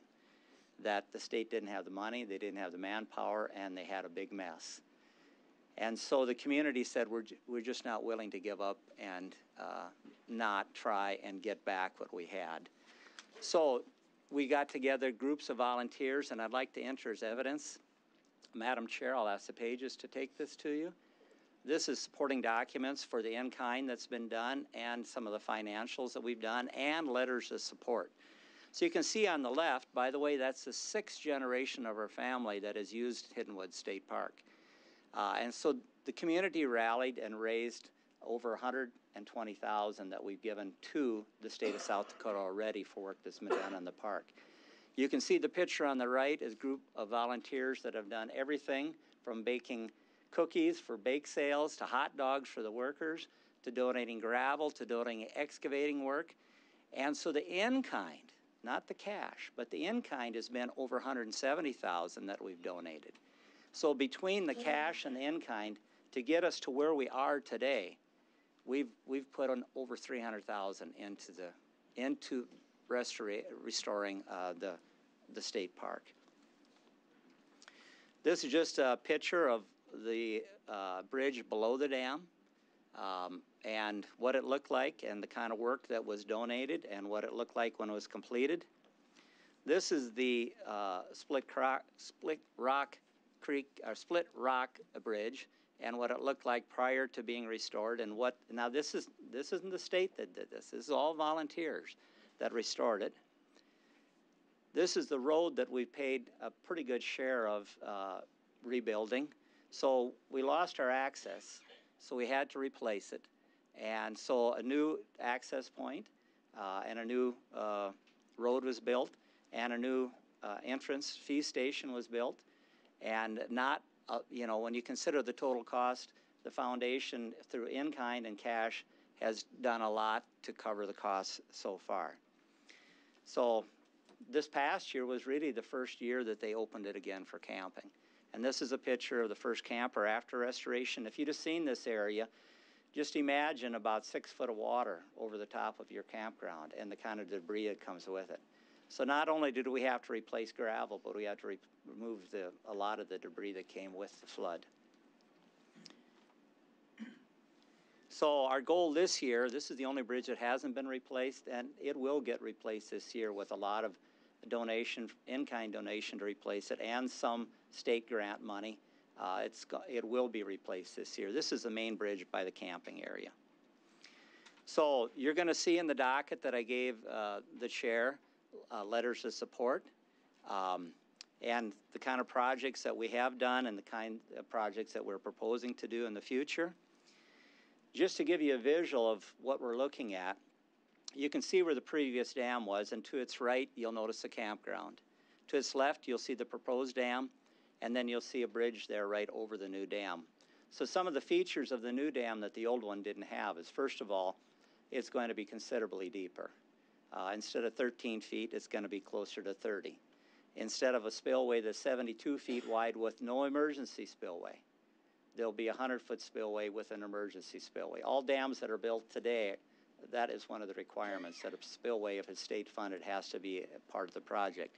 It does not show on this map, but it is off to the right of where the dam is. The emergency spillway will be in that location. So, other than it's a great place for groups to gather, and for us to come and do uh, birding or kayaking, there is also the added benefit of flood mitigation. And one of the things that I can email to the chair or give her a physical copy if she wants, this hydrology study was just completed. If you look in the lower right-hand corner, I got this last Monday. So an engineering firm um, just completed this $83,000 study talking about the watershed of Lake Hiddenwood. And the important thing that I pulled out of that I wanted you to see is, however, it would help reduce damages to numerous downstream roads, culverts, bridges due to substantial reductions in peak flows. So there is the flood mitigation part of this that we have to consider in addition to what we all enjoy by using the park. So, I'm, I look forward to questions, ma'am. Um, so at the last meeting that I was at, uh, a question was asked by one of the senators. So what is the timeline? Of course, we didn't have one, but we just know that it usually isn't short. So I contacted the, the, uh, the engineers in the state and asked them, so what normally is the timeline? And you can see it's, it's not as fast as a rancher would build a dam. So we're probably looking at years. If you said to me, if we fund this, when could you expect to put water back in? I would say probably not until 2026 because these things just take time. So um, the only thing I would say in closing is that some of you enjoy parks, a state park close to where you live, just as we do. And you just think most of those have got a body of water, and that's a major attraction point. So why don't you take that body of water away and see once what happens to usage and how your community feels about it. Our community has put together a tremendous amount of support to bringing this back, and that's been proven by people showing up, over 100 of them. And we've waited, now this spring will be five years. May of 23 will be five years. And so we feel like we've done our part to try and bring this piece of property that the taxpayers, all the taxpayers, have, uh, you know, uh, some skin in the game on. And so we just feel that we're at the point where we've done all we can, and now we're just coming to you today, asking you to uh, please consider supporting this project. Madam Chair, I'll stand by for questions. Thank you. Further proponents for Senate Bill 79? Further proponents? Good morning and welcome. Good morning, everyone. My name is Brandon Ritter. I'm a resident, lifetime resident of Campbell County, South Dakota, which is uh, way north of, uh, well, the northern part of the state, of course. And I, my, I farm in the Mound City area, which is downstream from, uh, from Lake Hiddenwood. Um, fifth generation on the farm. I operate uh, um, ground in the floodplain. And um, I also um, observe quite uh, intimately every year how the floodplain operates. Um, I irrigate land beside the floodplain. And um, so back in uh, May 18 of 2018, when this event happened, it was noticeable for many, many people. And the residents of, of Walworth County, in and around the dam, obviously lost a very important piece of, um, of their lives in the area. However, the waters continued to move north after the, uh, after the event. And uh, I farm right beside the Mound City, uh, the town of Mound City. The Mound City lies in the floodplain, or the Mound City area lies in the floodplain. And just so, I think Lyle had a bit of a picture, but the floodplain in itself runs from Lake Hiddenwood to just south of Herreid, South Dakota. It's about 15 miles long in that area, about a half mile wide, and encompasses several thousand acres. And when the dam broke, it took a couple days, of course, but the water eventually did find its way into my neighborhood and the subsequent neighborhoods around. And what we have seen from the effects of that was um, the water, unfortunately, was just sat there. And much of the land that we operate in the area was basically inundated for two years. Um, what's happened, of course, over time is uh, we've had substantial soil erosion runoff for just common farming practice over the last several decades when I was a kid, the floodplain in question that we're talking about was basically just a, a, a, more or less defined creek with some grasses growing around it. But because of years and years of soil erosion, it's kind of filled in and become a lot of cattail sloughs and whatnot. So when the floodwaters came, the water could not get through into its natural flowing boundaries and spread out over the land, flooding many, many thousands of acres. And, um, you know, for us farmers and, and ranchers, it was, uh, it was, you know, disheartening, obviously. Um, it's land that you depend on for, for cattle herds. There was thousands of acres of, uh, of hayland that were lost and flooded. And uh, it became obviously a problem. Um, I think most farmers and, and ranching operations in our area are flexible enough to be able to, to handle what we, what we incurred. Like I said, the water did sit there for up to two years in a lot of these places, and um, it definitely created some financial hardship. But I'm not here to talk about that financial hardship. I'm just kind of here to talk about what the uh, what the water in an area can do. And I think there's some pictures or some photos that were hopefully passed around a little bit, so you can see what some of the flooding looks like. Um, but something else that came up during the whole process was we had all this land that was sitting underwater on, in the floodplain, and uh, land that's rented from, you know, I operate a fair amount of land in the floodplain and I rent that land from some, from people. And a lot of these people were, you know, retired, fixed income, uh, type, uh, you know, individuals. And so now the conversation had to be hand, had to be had. The land is underwater. Um, I can't use the land. I need to somehow justify paying rent to these people because like I said, these are fixed income elderly people that depend on that, that income. And so that was a problem that we were faced with. And of course, you just compromise and do what you think is right and end up paying most of the rent to try to help some people out. But again, it kind of gets back to, to the dam itself. And um, the purpose of the dam, obviously, was to uh, was built. It was because an area that was identified as a you know flood mitigation risk back in the day. And the question I would just simply I keep asking myself, and I would ask you find folks yourself too, is if the dam was was built there for a purpose back in the 20s and 30s, and we know that we get much more precipitation now than we used to, and the big rain events that happened on May 18, 2018 are much more common, then the need for a dam would seem ever more than it did back in the day. And I don't believe they identified that area as a, probably as a recreation area as much as they were trying to protect land. And with land values probably near their all-time highs, tax dollars at their all-time highs on the land, I think it's imperative that we do what we can do to protect the land to avoid some of the situations that we've seen firsthand in uh, Campbell and Walworth County. Um, a little bit about myself too. I, I sit on the Campbell County Conservation District. I'm also a member of the South Dakota Ho- Soil Health Coalition as well.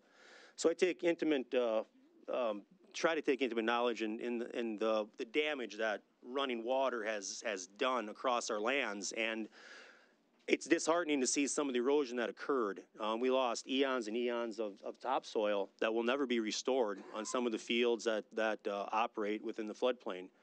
So again, there's many critical reasons um, to have a dam. I understand you guys have a very hard job to do, and allocating three and a half million dollars is not an easy thing. Um, when you add up the value of the ag land that's affected, I think it easily surpasses that. When you add up the tax dollars that the land generates, that's a substantial amount of money. And um, I just simply hope that you guys can can see the justification for for a dam. Um, there's just a, a, lot that went on during those two years, and I think the pictures that are being hopefully being passed around. Um, a cell tower was inundated. Uh, T-Mobile cell tower was underwater as a result of that. Um, there's just unforeseen things that came up and happened. And um, with that being said, I just thank you guys for your time very much. Again, I appreciate everything you do to represent us as a public, and uh, thank you very much. If you guys have any questions, I'd be more than happy. Thank you. Further proponents for Senate Bill 79? Further proponents? Good morning and welcome. Thank you, Madam Chairman. I am Ken Brockle. I live in Campbell County. I live kind of between Mound City, Selby, Java.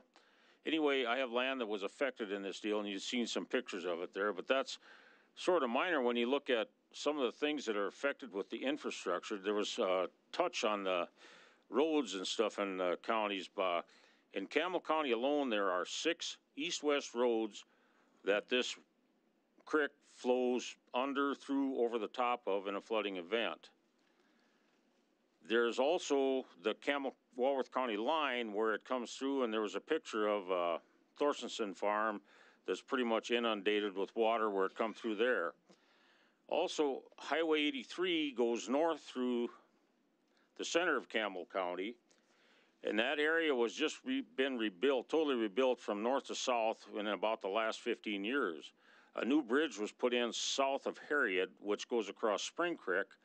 But there are three more spots along the Highway eighty-three where this water flows from one side of the road to the other side and then back again um, on its way to Spring Creek, which is southwest of Herreid. There's also another north-south road, Campbell County Road, west of Highway 83 that gets affected. So it, it- there's a lot of infrastructure that gets hit when something like this happens. I understand that you can't build a dam large enough there to contain all the water that happened in that event. But I, uh, anything there would really help to curtail some of the water that flows through there in any kind of a normal rain event. And uh, so anyway, that's my spiel. Thank you. Thank you. Further proponents of Senate Bill 79? Good morning and welcome. Madam Chair and committee members, I'm Emily Stiegelmeier from Selby. And um, first of all, me too to the Campbell County people because I also own, own land in Campbell County that was affected. Um, like many of the people that are here today, my, the Stiegelmeier family has a lot of history, and I'd love to tell you the stories, but I'm going to get right to the quick of it. Um, Senator Breitling talked, and, and Mr. Perman talked about the unique ecosystem. Um, the, the parks that are on the Missouri River are not substitutes for Lake Hiddenwood because of the uniqueness. Personally, I have found rare plants in this forested ecosystem that are not even listed in the South Dakota Plant ID books. So very special place in that. I also have some, just some numbers to give you an idea of how the park is used and the numbers of people that visit there. So from Game Fish and Parks usage data, the three years prior to 2018, um, the annual visitation units at Lake Hiddenwood average nearly 24,000 units. So if you multiply each car by two, two or more people, that gives you an idea of how many people just come to the park. And only about 2% of those people camp, but that still amounts to uh, about 453 camping units per year. Um, Hiddenwood gets used year round. Um, campers don't always come in the dead of winter, but as soon as it's warm enough, we see campers down there. My daughter remembers the holiday weekends that the campground was filled and including people from out of state. So uh, quite a bit of usage for such a small area. Um, so 98% of the visitation units come to the park for all these things that we're talking about, the unique ecosystem, the quiet place to go, and the great place for family gatherings. And so um, I just want to say that um, we, we share our love and passion for this place because it has been part of our lives for generations. Um, and also, the stated vision of South Dakota Game Fish and Parks is to conserve our state's outdoor heritage to enhance the quality of life for current and future generations. So I just ask you to help them do their job by supporting Senate Bill 79 and Lake Hiddenwood. Thank you very much. Thank you. My co-chair is saying, can we give them more time? I will, as long as it's not redundant. So go right ahead. Welcome. My name is Jamie Lemke. My uh, father's farm is less than a mile away from Lake Hiddenwood. Growing up, there was campers nonstop going down our road to go to Lake Hiddenwood. When I was a kid, we would take a day for biology class and we'd go out there. We'd take water samples, we would walk the trails, we would do trash pickups. You know, we'd have picnics out there and everything. So, you know, more utilizing what we did and just to really hope you guys can sponsor us.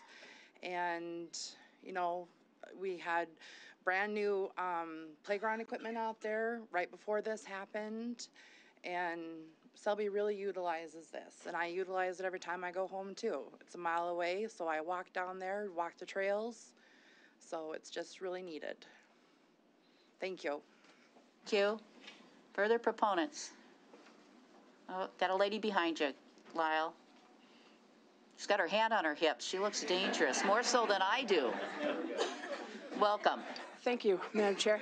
Um, my name is Leah, and I'm from Selby. I have a small background in environmental science, and I also moved here in the 90s from the Northwest. Um, I just want to say that since I I also was involved with the dredging and the biology water sampling in the early 90s. Pardon me. So quick, like I just want to say that I've uh, taken many of my children's friends. We go out at least a couple times a year and uh, look at macroinvertebrates, study the biology out there. We dissect owl pellets. We build birdhouses. We do all this kind of thing because it's where my heart is. And I have yet to have a kid go out there that spent that time on their phone. Um, it's a beautiful place, and more, most importantly, Hiddenwood is a mental health stabilizer. I mean, it's a place where people go, uh, myself, my son, so many of my friends, when it's too much. And let's face it, this world is too much for all of us right now. And when it's too much, a day at the lake, an hour, 15 minutes on a kayak fixes everything. And it's something, especially in our region, something that's so desperately needed, especially for the youth. My son spends so much time out there when he's hurt, when he's sad, when he's angry, which is a 17 year old boy, so it's a lot. Um, he goes there and he comes back calm. Him and the dog spend more time out there than anyone I know. And I just like to thank you for your time. Thank you. Leah, what is your last name? Holder. I'm sorry? Holder, sorry. Holder. Leah Okay, Holder. no, that's fine, just for the record. That's all I was asking. Okay, thank you. Further proponents? Good morning, Madam Chairman. My name is Mitch Richter. I represent the South Dakota chapter of the Sierra Club. You've heard a lot of this, basically Me Too this morning. Heard a lot of testimony on the environmental aspect of this, the mental health uh, aspect. There isn't a better investment in South Dakota for 36 bucks for a state park sticker. And let's put this one on the list so um, it, it adds to the benefit for all of South Dakota. Thank you. Thank you. Further proponents? Good morning and welcome. Good morning, Madam Chair, members of the committee. Paul Lepisto for the South Dakota Division of the Izaak Walton League of America. We've supported these efforts in previous sessions, and we think this one uh, is a no-brainer. Yes, it isn't in the budget, but you can hear the passion for this area from the local residents. We don't look at this as an expense. We look at this as an investment in the future of South Dakota for generations to come. And uh, we would urge your support.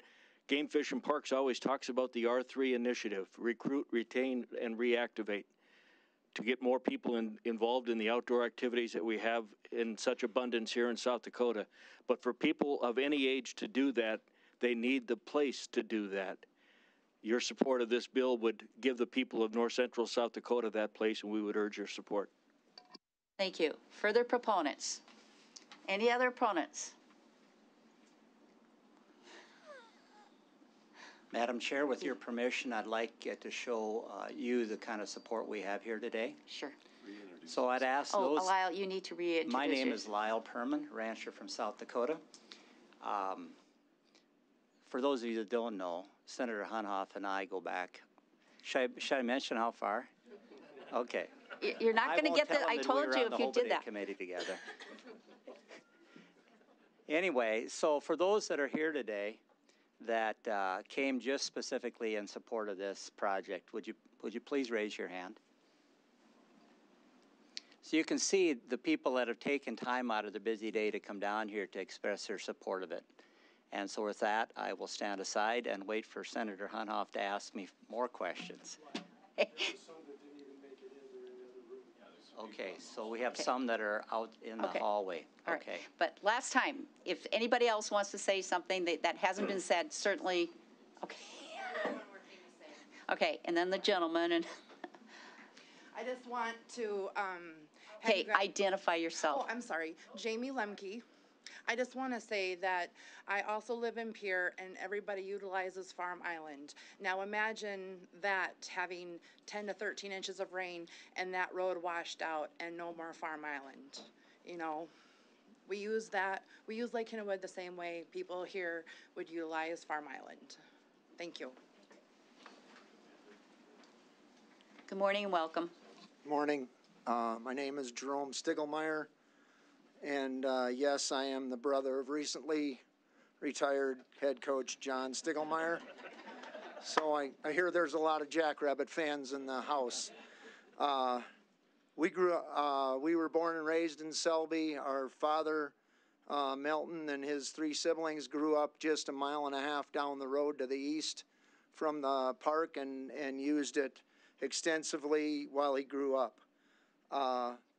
I'll just read my statement here. Although volunteer volunteers restored hiking trails, picnic and camping areas, and other things that can happen now, a restored lake with a dam would increase exponentially the activities that could happen. No lake makes us dejected and breaks our hearts. As we put have put money, sweat, and energy into this project, I implore you to assist us in restoring Lake Hiddenwood, and it's very hard to call it that with no lake. But I will uh, nonetheless restore Lake Hiddenwood Recreation Area to its glory of being that hidden gem in our area and in your state. Thank you for your time. Thank you. Any other one? Anybody else? I don't want to turn anybody away. You came a long way. Okay. Then what I'm going to do is I have to ask the question Are there any opponents to this project? you know that's going to happen, so this is the real world.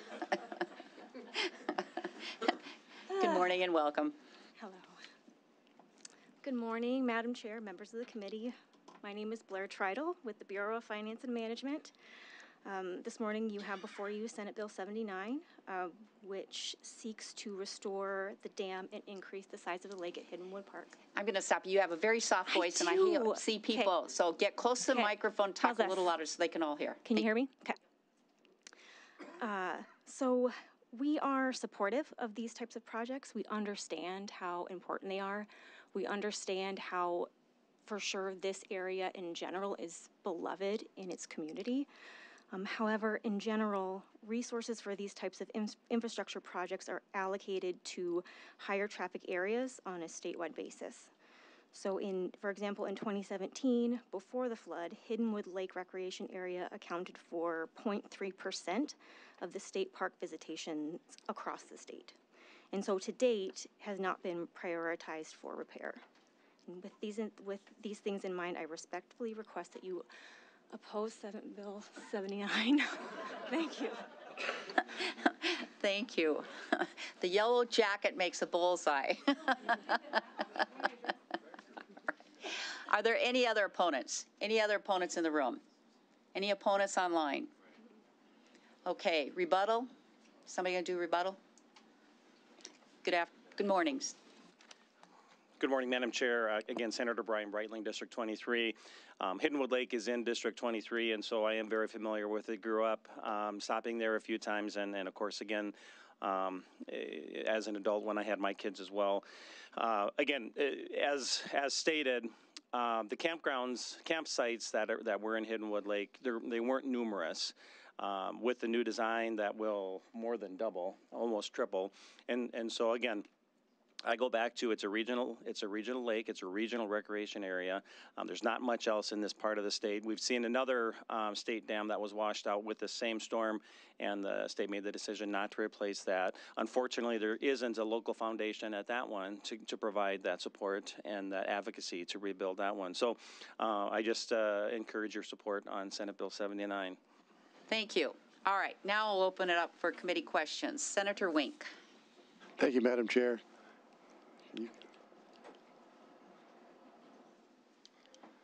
I think some of my questions have been answered, but um, the flood mitigation study, was that paid for by this group or Game Fish and Parks or? Madam Chair, this flood mitigation report was paid for by the county taxpayers. Um, And so that was not at the expense of the state of South Dakota. Okay. 83,000, by the way. Follow-up? Follow-up. Um, there is a state park up there, I assume, and that, could you give me the size of that? How many acres is there? If you remember the very first slide I showed you, it's 325 acres. It started out at, at 160 a quarter of land, and the money was raised. If you read your history uh, in there, I believe it talks about it. They sold lots around the lake to raise money for the first, and then I believe the second quarter land was donated. So the community has very much been invested in this uh, financially from the get-go. Okay. One last one? Go ahead. Thank you. Um, now, was this lake, was it, uh, filled up only with rainfall that came in, uh, or is there, is there a stream that goes through there? I think somebody mentioned a stream. I just wonder if it's a natural, if it would be, if there was a lake there, it would come, the, the stream would fill it up, or you needed rainfall in order to, to fill it up? Madam Chair. So there's about, uh, estimated about 250 acre feet of water that flows through this dam per year. Okay. And that's in a normal year. If you look at the, the one picture that I had there, the one slide of the new dam and the old dam, it talks about capacity. And so it's, it remained relatively flow, full because of the capacity of the old dam. The new dam is going to be a, approximately four times as much in terms of capacity of acre feet that it'll hold. Okay. Thank you. Representative Karr. Thank you, Madam Chair. Um, don't know who this will be for, but I just wanted to uh, ask the question. In the, the materials that were handed out, it said the, the goal is to add 20 camping pads, uh, walking bridge, as well as the dam. The money that's being asked for, is that just for the dam or is it for these additional items? Is it for all the items listed here? Yeah, I can answer. Madam Chair, the money we're asking for, if you would like to fund the rest of those items, we can add to that total if you prefer. Then we don't have to come back again, but it is just for the dam. The, the walking bridge, uh, I believe that money has already been secured, Game Fish and Parks, plus in kind to replace the walking bridge that's there. The camping paths, you know, one of the issues you deal with today is people, uh, they want sewer, water, electricity, and a comfort station. And right now, the, the camping sites that are there, the 13 that are there, only provide water and electricity. So one of the things we're proposing to do in the future is to put in uh, 20 additional sites that would include sewer. And uh, so that's on our radar. It's not on the states at this point, nor is it included in this bill. Okay, so the money just covers the dam. All right, follow. up. Yep, thank you. Uh, The plan that you have then, um, does that, and the, the dam that you're being built is gonna be larger, does that take into account, um, a future flood event that, like what occurred? Madam Chair. So the dam that was there was built to 27 feet of capacity. When it, when the dam breached, it was ha, only 50% of that. Because like a lot of impoundments, silt becomes a problem. You know, we know that ranching, we gotta clean out our dams and dugouts periodically. So it really didn't have the capacity this new one will. And so, uh, you know, it would always stayed relatively full because Hiddenwood Creek is what was being dammed up. And Hiddenwood Creek uh, is a natural creek that's there and does have some springs in it. Uh, But if you read the hydrology report, which is 83 pages long, and I'm sure you got nothing better to do, but uh, you, you'll see, they'll talk a little bit about, you know, the proposed dam versus what was there. Thank you. What was the park attendance before the flood? Ma- Madam Chair, I do not have those numbers.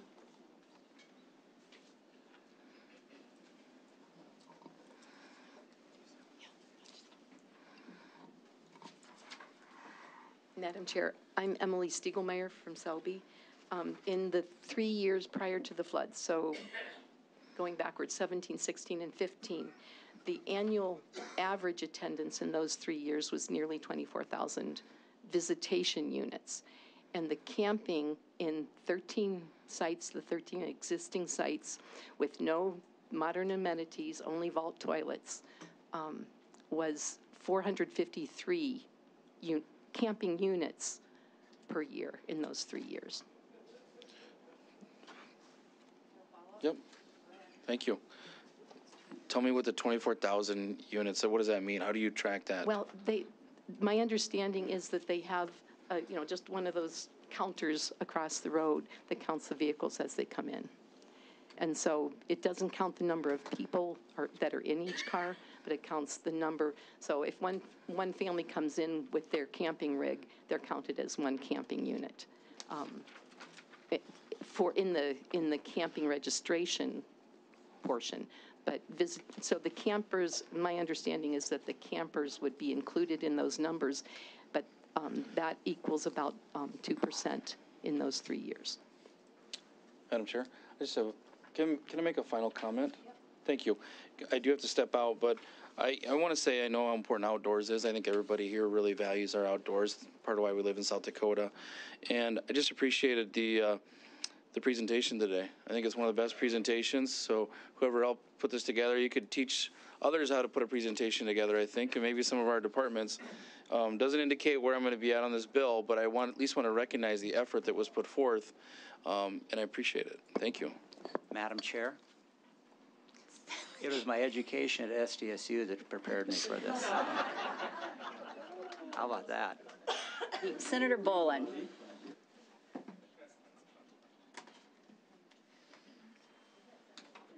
Uh, I got a question for the lady from the Bureau of Finance and Management.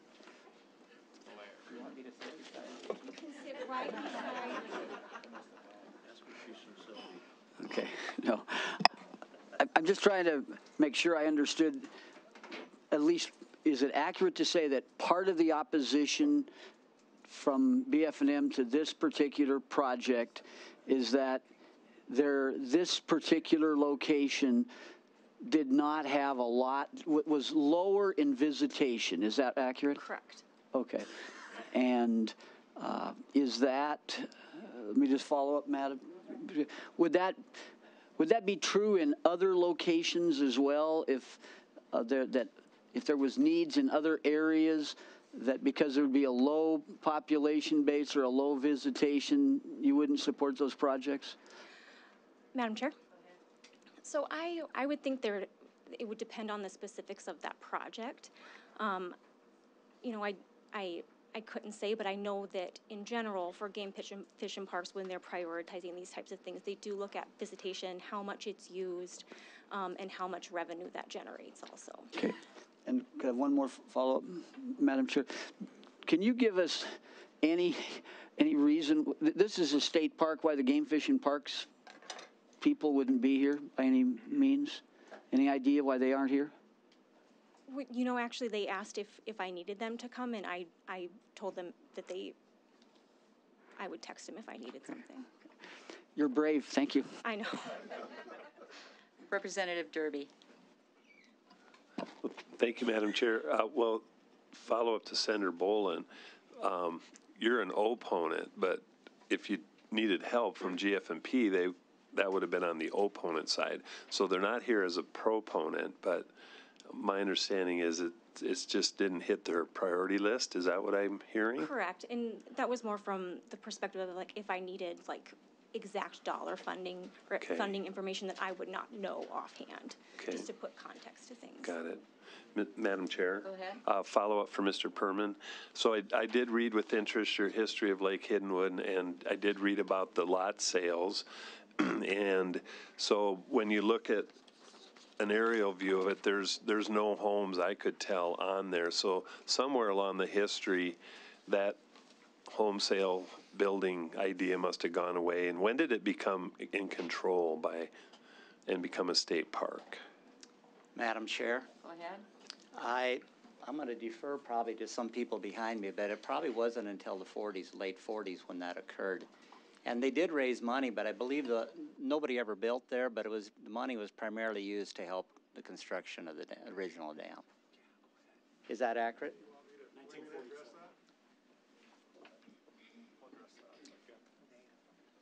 You'll have to identify yourself. Yep. Good morning, Madam Chairman, Chairman members. My name is Scott Simons from Selby. Uh, Been there all my life. Um, To answer that, um, the lots were sold to fund the purchase of the land. Okay? And that was in 1926. And we all know what happened in 1928. If you're a study of any economic history, stock market crashed. After that came the Depression and the dirty 30s. And, you know, everything there was put on hold. After that came World War II. Everything was put on hold. And then after that, I think, I believe it was 1947, then it was moved over to the state side. So that would be the history of why nothing was ever moved forward at that time. Thank you, Madam Chair. So there's no private ownership along the lake at this None. time? Okay. It was all, all uh, transferred to the state. I don't know what the process was back in the 40s. And then in 1973, the west end of Lake Hiddenwood, uh, I would say the west half, uh, approximately 160 acres, was donated by a local farmer for expansion. At that time, I was in high school. Uh, remember how exciting it was that Lake Hiddenwood was going to double, triple, whatever it was. Um, we all know what happened in 1973. Oil embargo, uh, poor crops, high inflation, and again, Lake Hiddenwood was put on hold. Uh, I firmly believe that this was an act of God. This is our time. We're, we're gonna, you know, we're moving forward. So any help that you can provide for us to do that, we really appreciate it. Thank you. That history lesson's always helpful here. Thank you. Representative Venhuizen. I'm a little concerned that improvements to this lake are always followed by economic disasters, but I'm, Are there any other questions? Senator Wick. Madam Chair, I, I just have one, and I don't even know who to ask. Um, if the state builds this dam, does the state have to assume the liability if it should fail and cause all the problems that this dam caused when it failed? So I don't know who could answer that. That's pro- Senator Breitling, you're going to take a shot?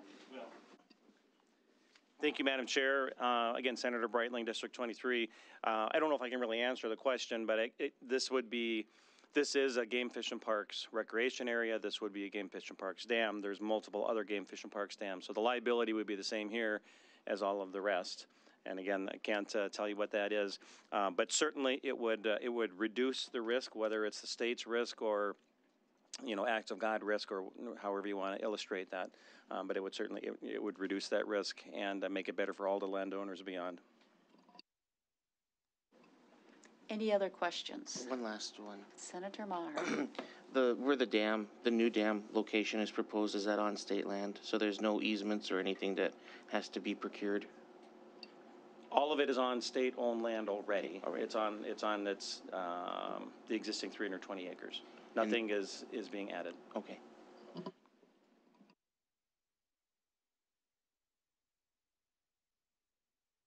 Sorry, I do have one. In the process, then you, when you were working, did you ask GFP if they would prioritize and put this on their list? And what, if you did, what was the response? As most of you know, um, that's kind of a delicate answer to ascertain. Game Fish and Parks really loves Hiddenwood Lake. They've um, um, they, they prioritize this as a project. Um, they want this to be built. They participated in the, the road rebuilding, and they're assisting at every step of the way. Um, one of the main reasons why they're not here is because they are part of the executive branch, and if they were here today, they'd have to speak against it. So they said that they uh, are, are trying not to be as close to appropriations during this time as possible, as much as possible. Um, but they are illustrating very much so that they want the foundation to continue their focus, continue their work. Um, if we can fund it this year, awesome. They, they will certainly participate in getting it done. If it doesn't get approved this year, they're, they're going to continue to keep it on their radar for future years. And so we're going to continue to see this in future years as well. I'll push the button, okay? So they helped with the road, they're helping with the other projects. They do have a list that's out there, and they come to us every year and they show us, was this on one of their lists? If last- Especially last year when they had the dollars that were out there, was this on their list? This is not on their list to be funded at this time. It's, it's on their long-term list, but it's not on their funding list. Thank you. Okay. Any other questions? Representative Derby. Madam Chair, thank you for the latitude here to give them more time. Thank you. Uh, it- I is there a match component within that bill, $750,000 match component? There is a $750,000 um, match, both in-kind and cash. In-kind and I- cash. I don't remember the exact dollars that they have uh, raised already, but they're continuing to raise dollars, continuing to do in-kind work there with the bridges and walking paths and things like that as well. Campsites, uh, I think some of the campsites will be done by the, by some of the local foundation groups as well. Okay. Any other questions? As I said, we're not taking action today. We've got revenues being set uh, this week, and so we need to look at the global picture. So we're taking the testimony, both pros and cons, and we'll continue, and then we'll come back and uh, we will act on this bill. I want to say thank you to all of you. Um, I swear the strategist that was sitting at the end of the table was well planned and orchestrated. It is good to see all of you and all that are here. Um, you don't throw out the jackrabbits because you know that's a plus on this committee. So that's a, that's not really good. And then you've got somebody else that's on the committee, and then you have to talk about your state park, and you know the chairman is from Yankton. So what do you think she sits next to every day? So you sort of stacked the deck, and you knew how to do it. So thank you again for all coming. Have safe travels home. It sounds like you have a lovely park there, and um, everything goes into the consideration. So again, thank you for your testimony. All right.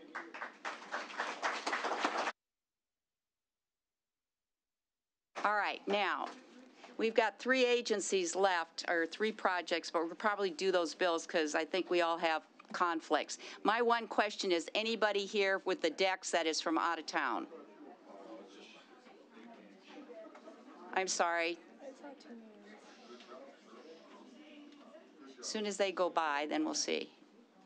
Are there people from the decks that are here? How many?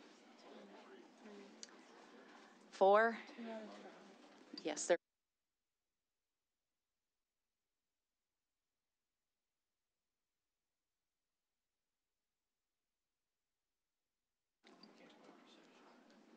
I know we can't. Um, I have a meeting at noon. Does anybody else have conflicts if we took the DEX bill?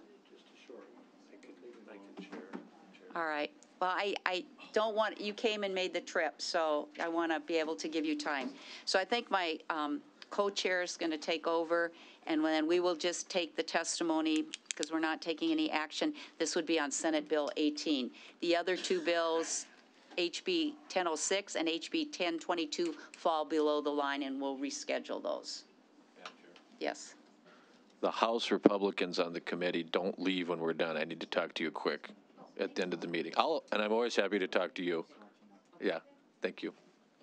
All right, so I guess my meeting is in 15 minutes. So we'll move to Senate Bill 18, which is to revise the appropriation for a livestock and equestrian complex at the State Fair and to declare an emergency. Um, Mr. Co-Chair, what's the amount they're asking? You didn't know either, okay. As I not All teed right, up here. all right. With that, welcome, and please identify yourself. Thank you, Madam Chairman, members of the committee. My name is Peggy Besch, and I'm the director of the South Dakota State Fair. I come before you today to ask for your support of Senate Bill 18. As you are aware, the beef complex was destroyed by a fire in October 2020. This building generated more revenue than any other building on the fairgrounds. It was used 250 days a year for livestock and equestrian events, including cattle shows, barrel racing, team roping, riding clinics, rodeos, and winter stalling and riding.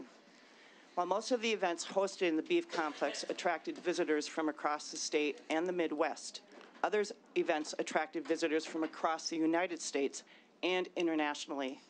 The beef complex was central to our year-round revenue generation, so it was a major loss for our bottom line. Fortunately, in 2021, the legislature recognized the severity of the situation and passed Senate Bill 99, which provided funding and authorization of the construction of the DEX, the Dakota Events Complex, a multi-purpose livestock and equestrian facility replacing the beef complex. The DEX, about halfway through construction, is towering over all other buildings on the State Fair Park with the exception of the grandstand. It is a magnificent site, one that you, the legislators who authorized the project, would be impressed with. When finished, it will bring great pride to the state as a modern dual arena complex that will seat 5,000 people to witness livestock and equestrian events, concerts, auto thrill shows, agriculture expos, and other regional and national events.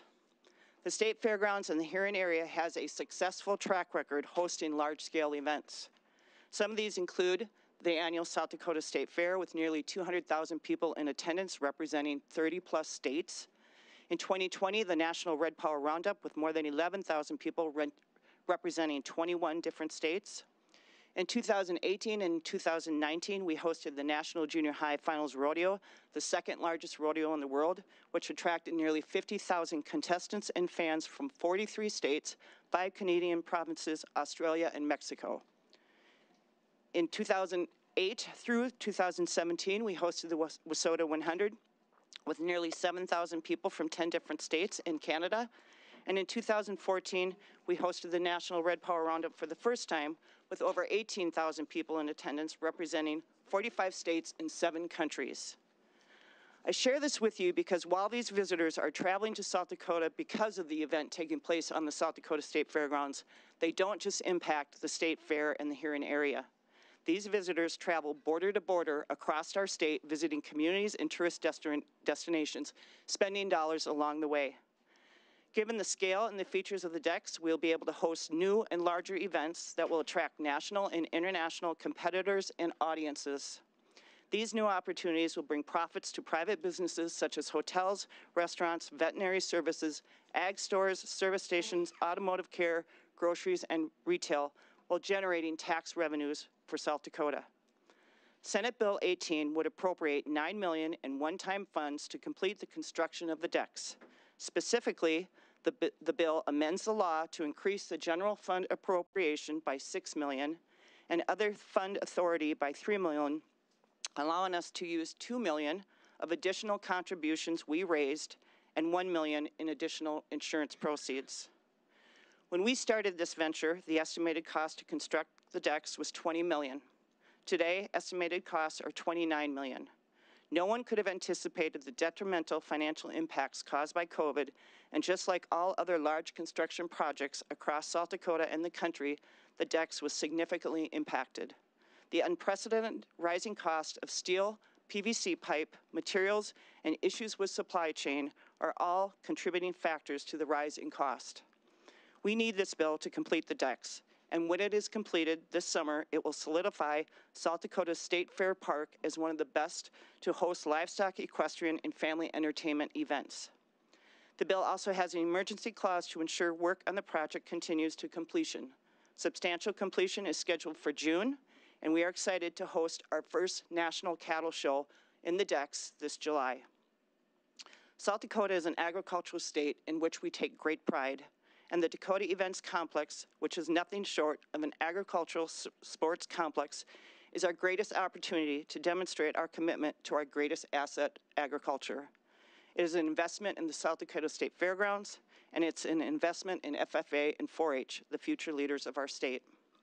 The State Fair is a premier year-round facility hosting agriculture, equestrian, youth, cultural, and community events, generating economic impact for South Dakota. Please support Senate Bill 18, and I will stand by for questions. Thank you. Thank you. Further proponents for Senate Bill 18? Well, it's afternoon now. Welcome. Thank you, Madam Chair, uh, members of the committee. Farron Wall, uh, South Dakota State Fair Commission. Uh, out of respect for your time and your uh, request to keep redundancies out, uh, I've got this uh, cut down to where we'll just add a few points that I believe I can offer that I think are significant here and uh, and are not redundant to Manager Besch's comments. Having been involved in some fashion with the State Fair for over 50 years, I can tell you that the common denominators of this event throughout our state's history have been tradition, agriculture, and youth. And the construction of the DEX that's now underway is actually fundamental to all of those. It's really important to us that we utilize well and harnessing excellent utilization with this strong new force of potential on the state fairgrounds will be very real. To be sure, our current utilizations on the grounds is excellent as we already host more than 200 individual events per year outside of the fair itself. But this new flexible use, multi-purpose livestock and equestrian complex is going to swing the gate wide open for event utilization never thought possible regarding potential national events and exhibitions on the state fairgrounds. This past October, I took a driving trip through the south central United States that didn't begin for these purposes. While I was on the trip, I visited the grounds of seven different state fairs, three of them actually during their state fair event, and two brief takeaways I can offer you from those. One is that being in a state that admittedly has a great lower, much lower population, uh, smaller, uh, smaller generally everything, and a shorter duration state fair, I can tell you that I discovered uh, we're not behind anybody in terms of what we offer, not only in that great exhibition of all things South Dakota, but in what we offer throughout the year on the State Fair Park. But more importantly to this Senate bill, I would tell you that I discovered very much struck me that of those seven state fairgrounds I visited, only two of them offered a livestock facility that could be even comparable to the DEX. And when you consider that those fairs are located in very heavily populated distant states, whose resident counts are several million and up, it becomes even more clear what a game changer the DEX is going to be right here in South Dakota and for our surrounding region. It will absolutely place us among a much more elite tier of potential hosts for major livestock, rodeo, and equestrian events. Lastly, I would just tell you, seeing the structure start to rise, as Manager Besch pointed out, the excitement surrounding these new possibilities that will be afforded by the DEX have become very palpable. Youth and adults alike as well as other uh, uh, industry leaders and producers, are sharing the hope of livestock and equestrian show opportunities and things that can now be possible. The sorrow of the losses from that 2020 fire are quickly being shouldered out of the way by the brightness of the new future here in South Dakota with the DEX starting to rise.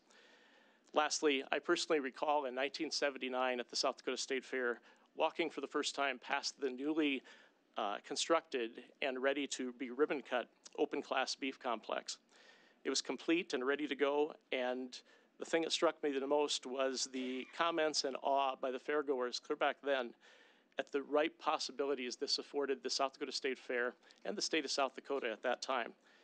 Now, having unexpectedly lost that 41 year old facility, we're truly at the precipice of an entire new level, a uh, completely higher level of promise to state fair exhibitors and residents throughout this great state. The possibilities within it are vast.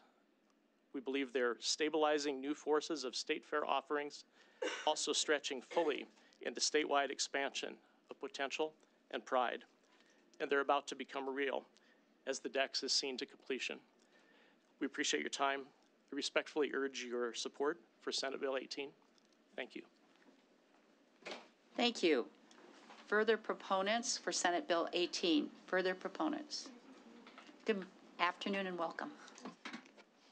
Good afternoon. My name is Laurie Shelton, and I am the President and CEO of the Huron Chamber and Visitors Bureau. Madam Chairman and Committee, it is my pleasure to be here before you we know that you have heard before all of the opportunities that the DEX allows us or will allow us.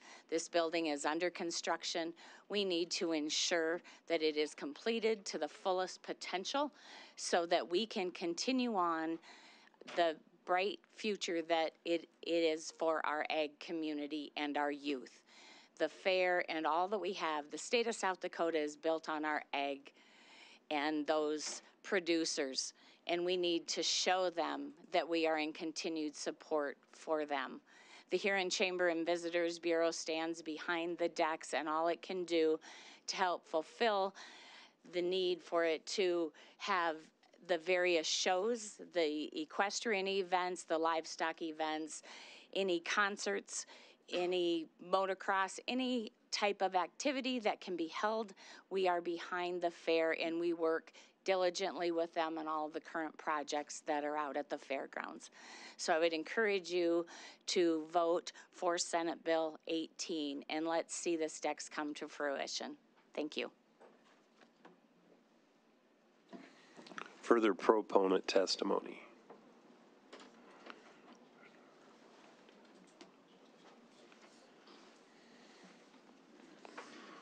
Thank you, Mr. Chair. Roger Chase, District 22 State Representative. I travel by this building as it's under construction every week.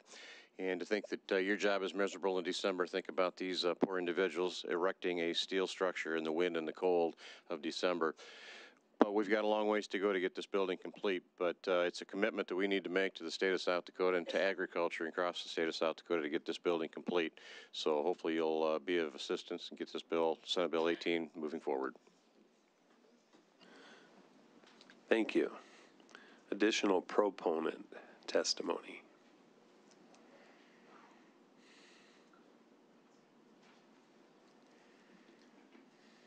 Chair and members of the committee, I'm Brian Smith. I am uh, from Huron, South Dakota. I'm a Huron City Commissioner as well as a lifelong resident of the city of Huron. And uh, urging your support in this bill. Um, the, the city of Huron is a good uh, established partner with the state of South Dakota in, at the state fair, and uh, we would like to continue to see the the DEX come to completion and fruition. Thank you. Thank you. Additional proponent.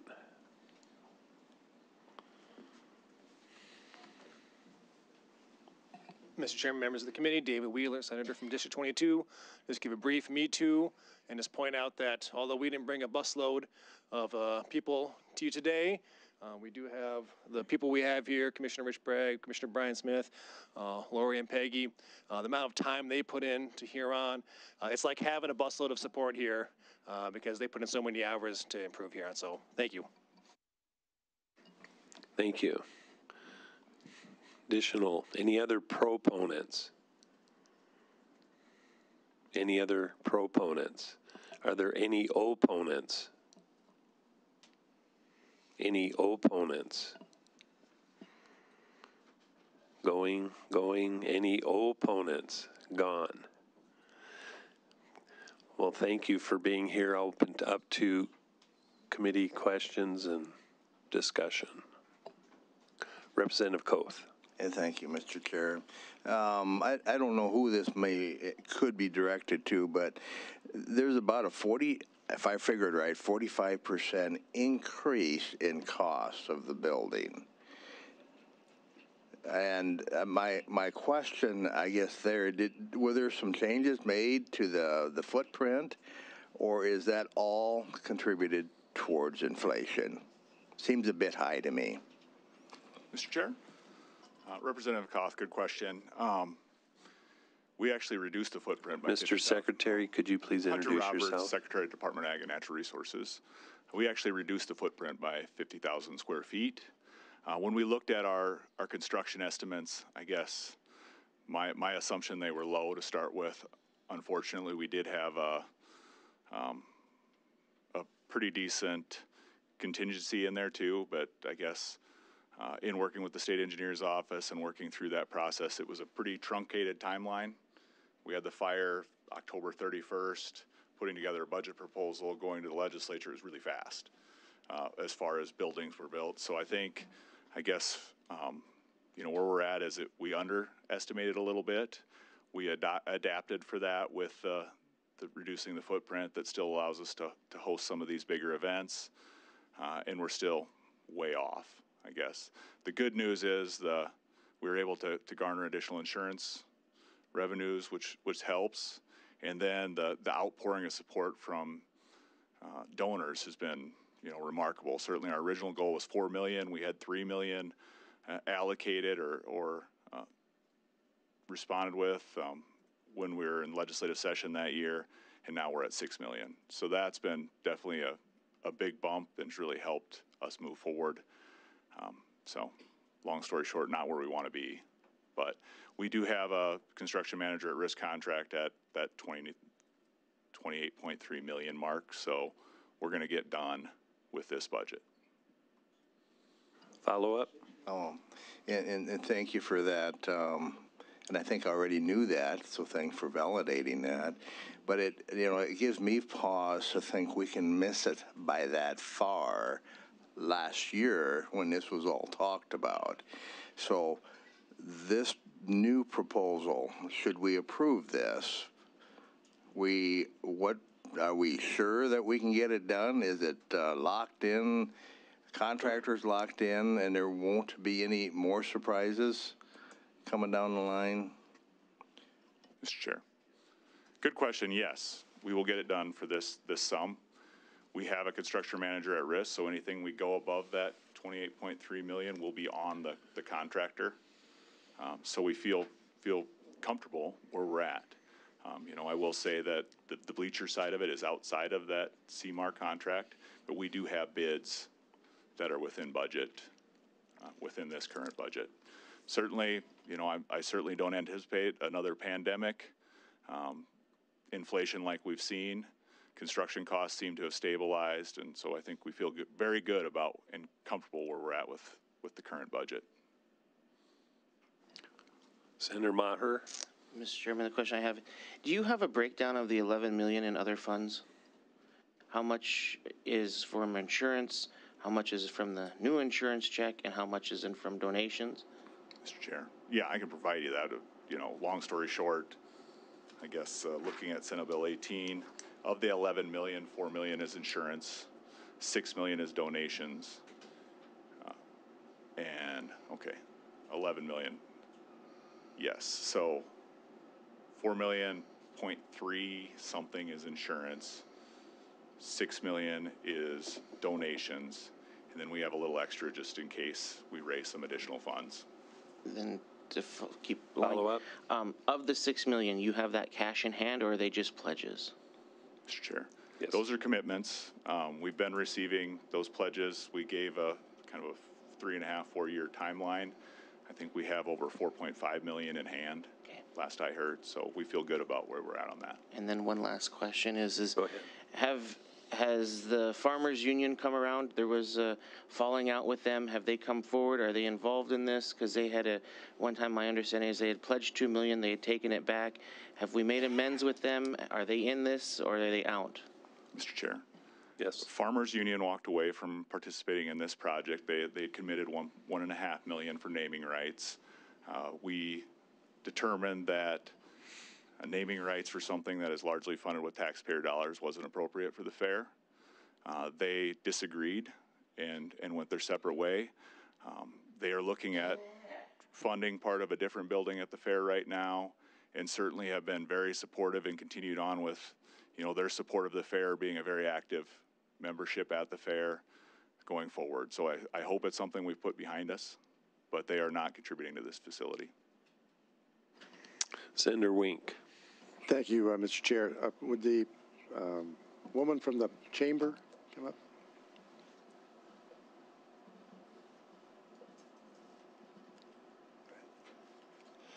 I am not familiar with Huron, um, but one of the concerns we had last year is that there was a lack of places to stay when people come and visit the state fair.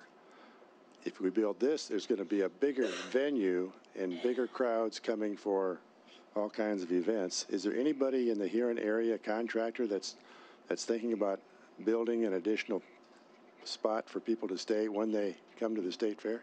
Or maybe, Certainly. and maybe you don't agree with my concerns. Maybe Um, Senator Wink, I do agree with your concerns, and to the committee and the chair people, chairman here, we know that is a concern, and we are diligently working on that as we speak. So we feel pretty good that we can increase the number of rooms that are available.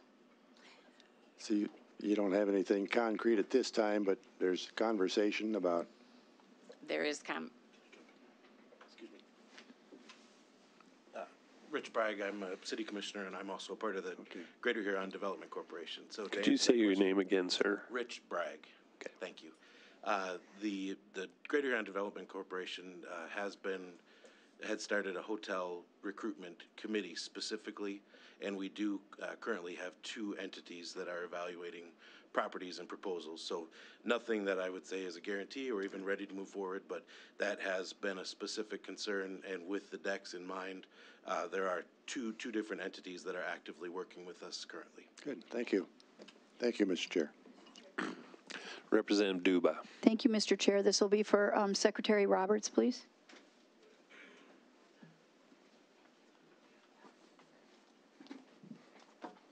Good afternoon, Secretary. You may have already provided this. I believe in your uh, budget hearing, one of the things that I asked was, um, what were the attendance figures uh, for the 2022 fair? And uh, was it a moneymaker, or did we lose money on the fair? And what are our projections for 2023? Mr. Chair? Yes.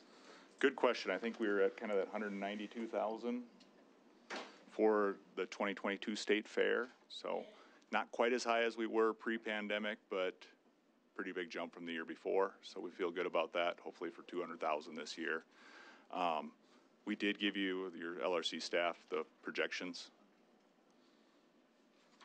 Follow up? Um, Just, what are we projecting for 2023, since we are in the process of building this building? And I believe you said, did I miss it? We're- We're going to be ready for the 2023 State Fair? So are we projecting, what are our figures that we're projecting? And what's our, our budget say in terms of profit? So we did provide uh, some pro forma projections. Um, If I can find it quick here.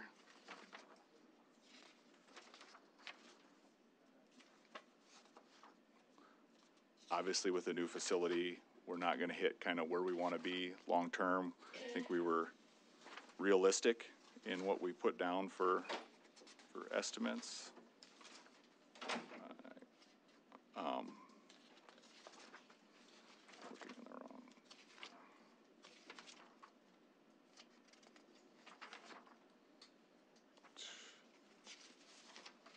Okay, so we're looking at kind of 40 days at this facility in 2023, or so 20, fiscal year 2024, ramping up to kind of that 130 days in year three. So really seeing a gradual ramp. If you look at revenues, you know, we're looking at kind of 125,000 the first year, we're being pretty conservative, all the way up to the over 400,000 in revenues fiscal year 2026.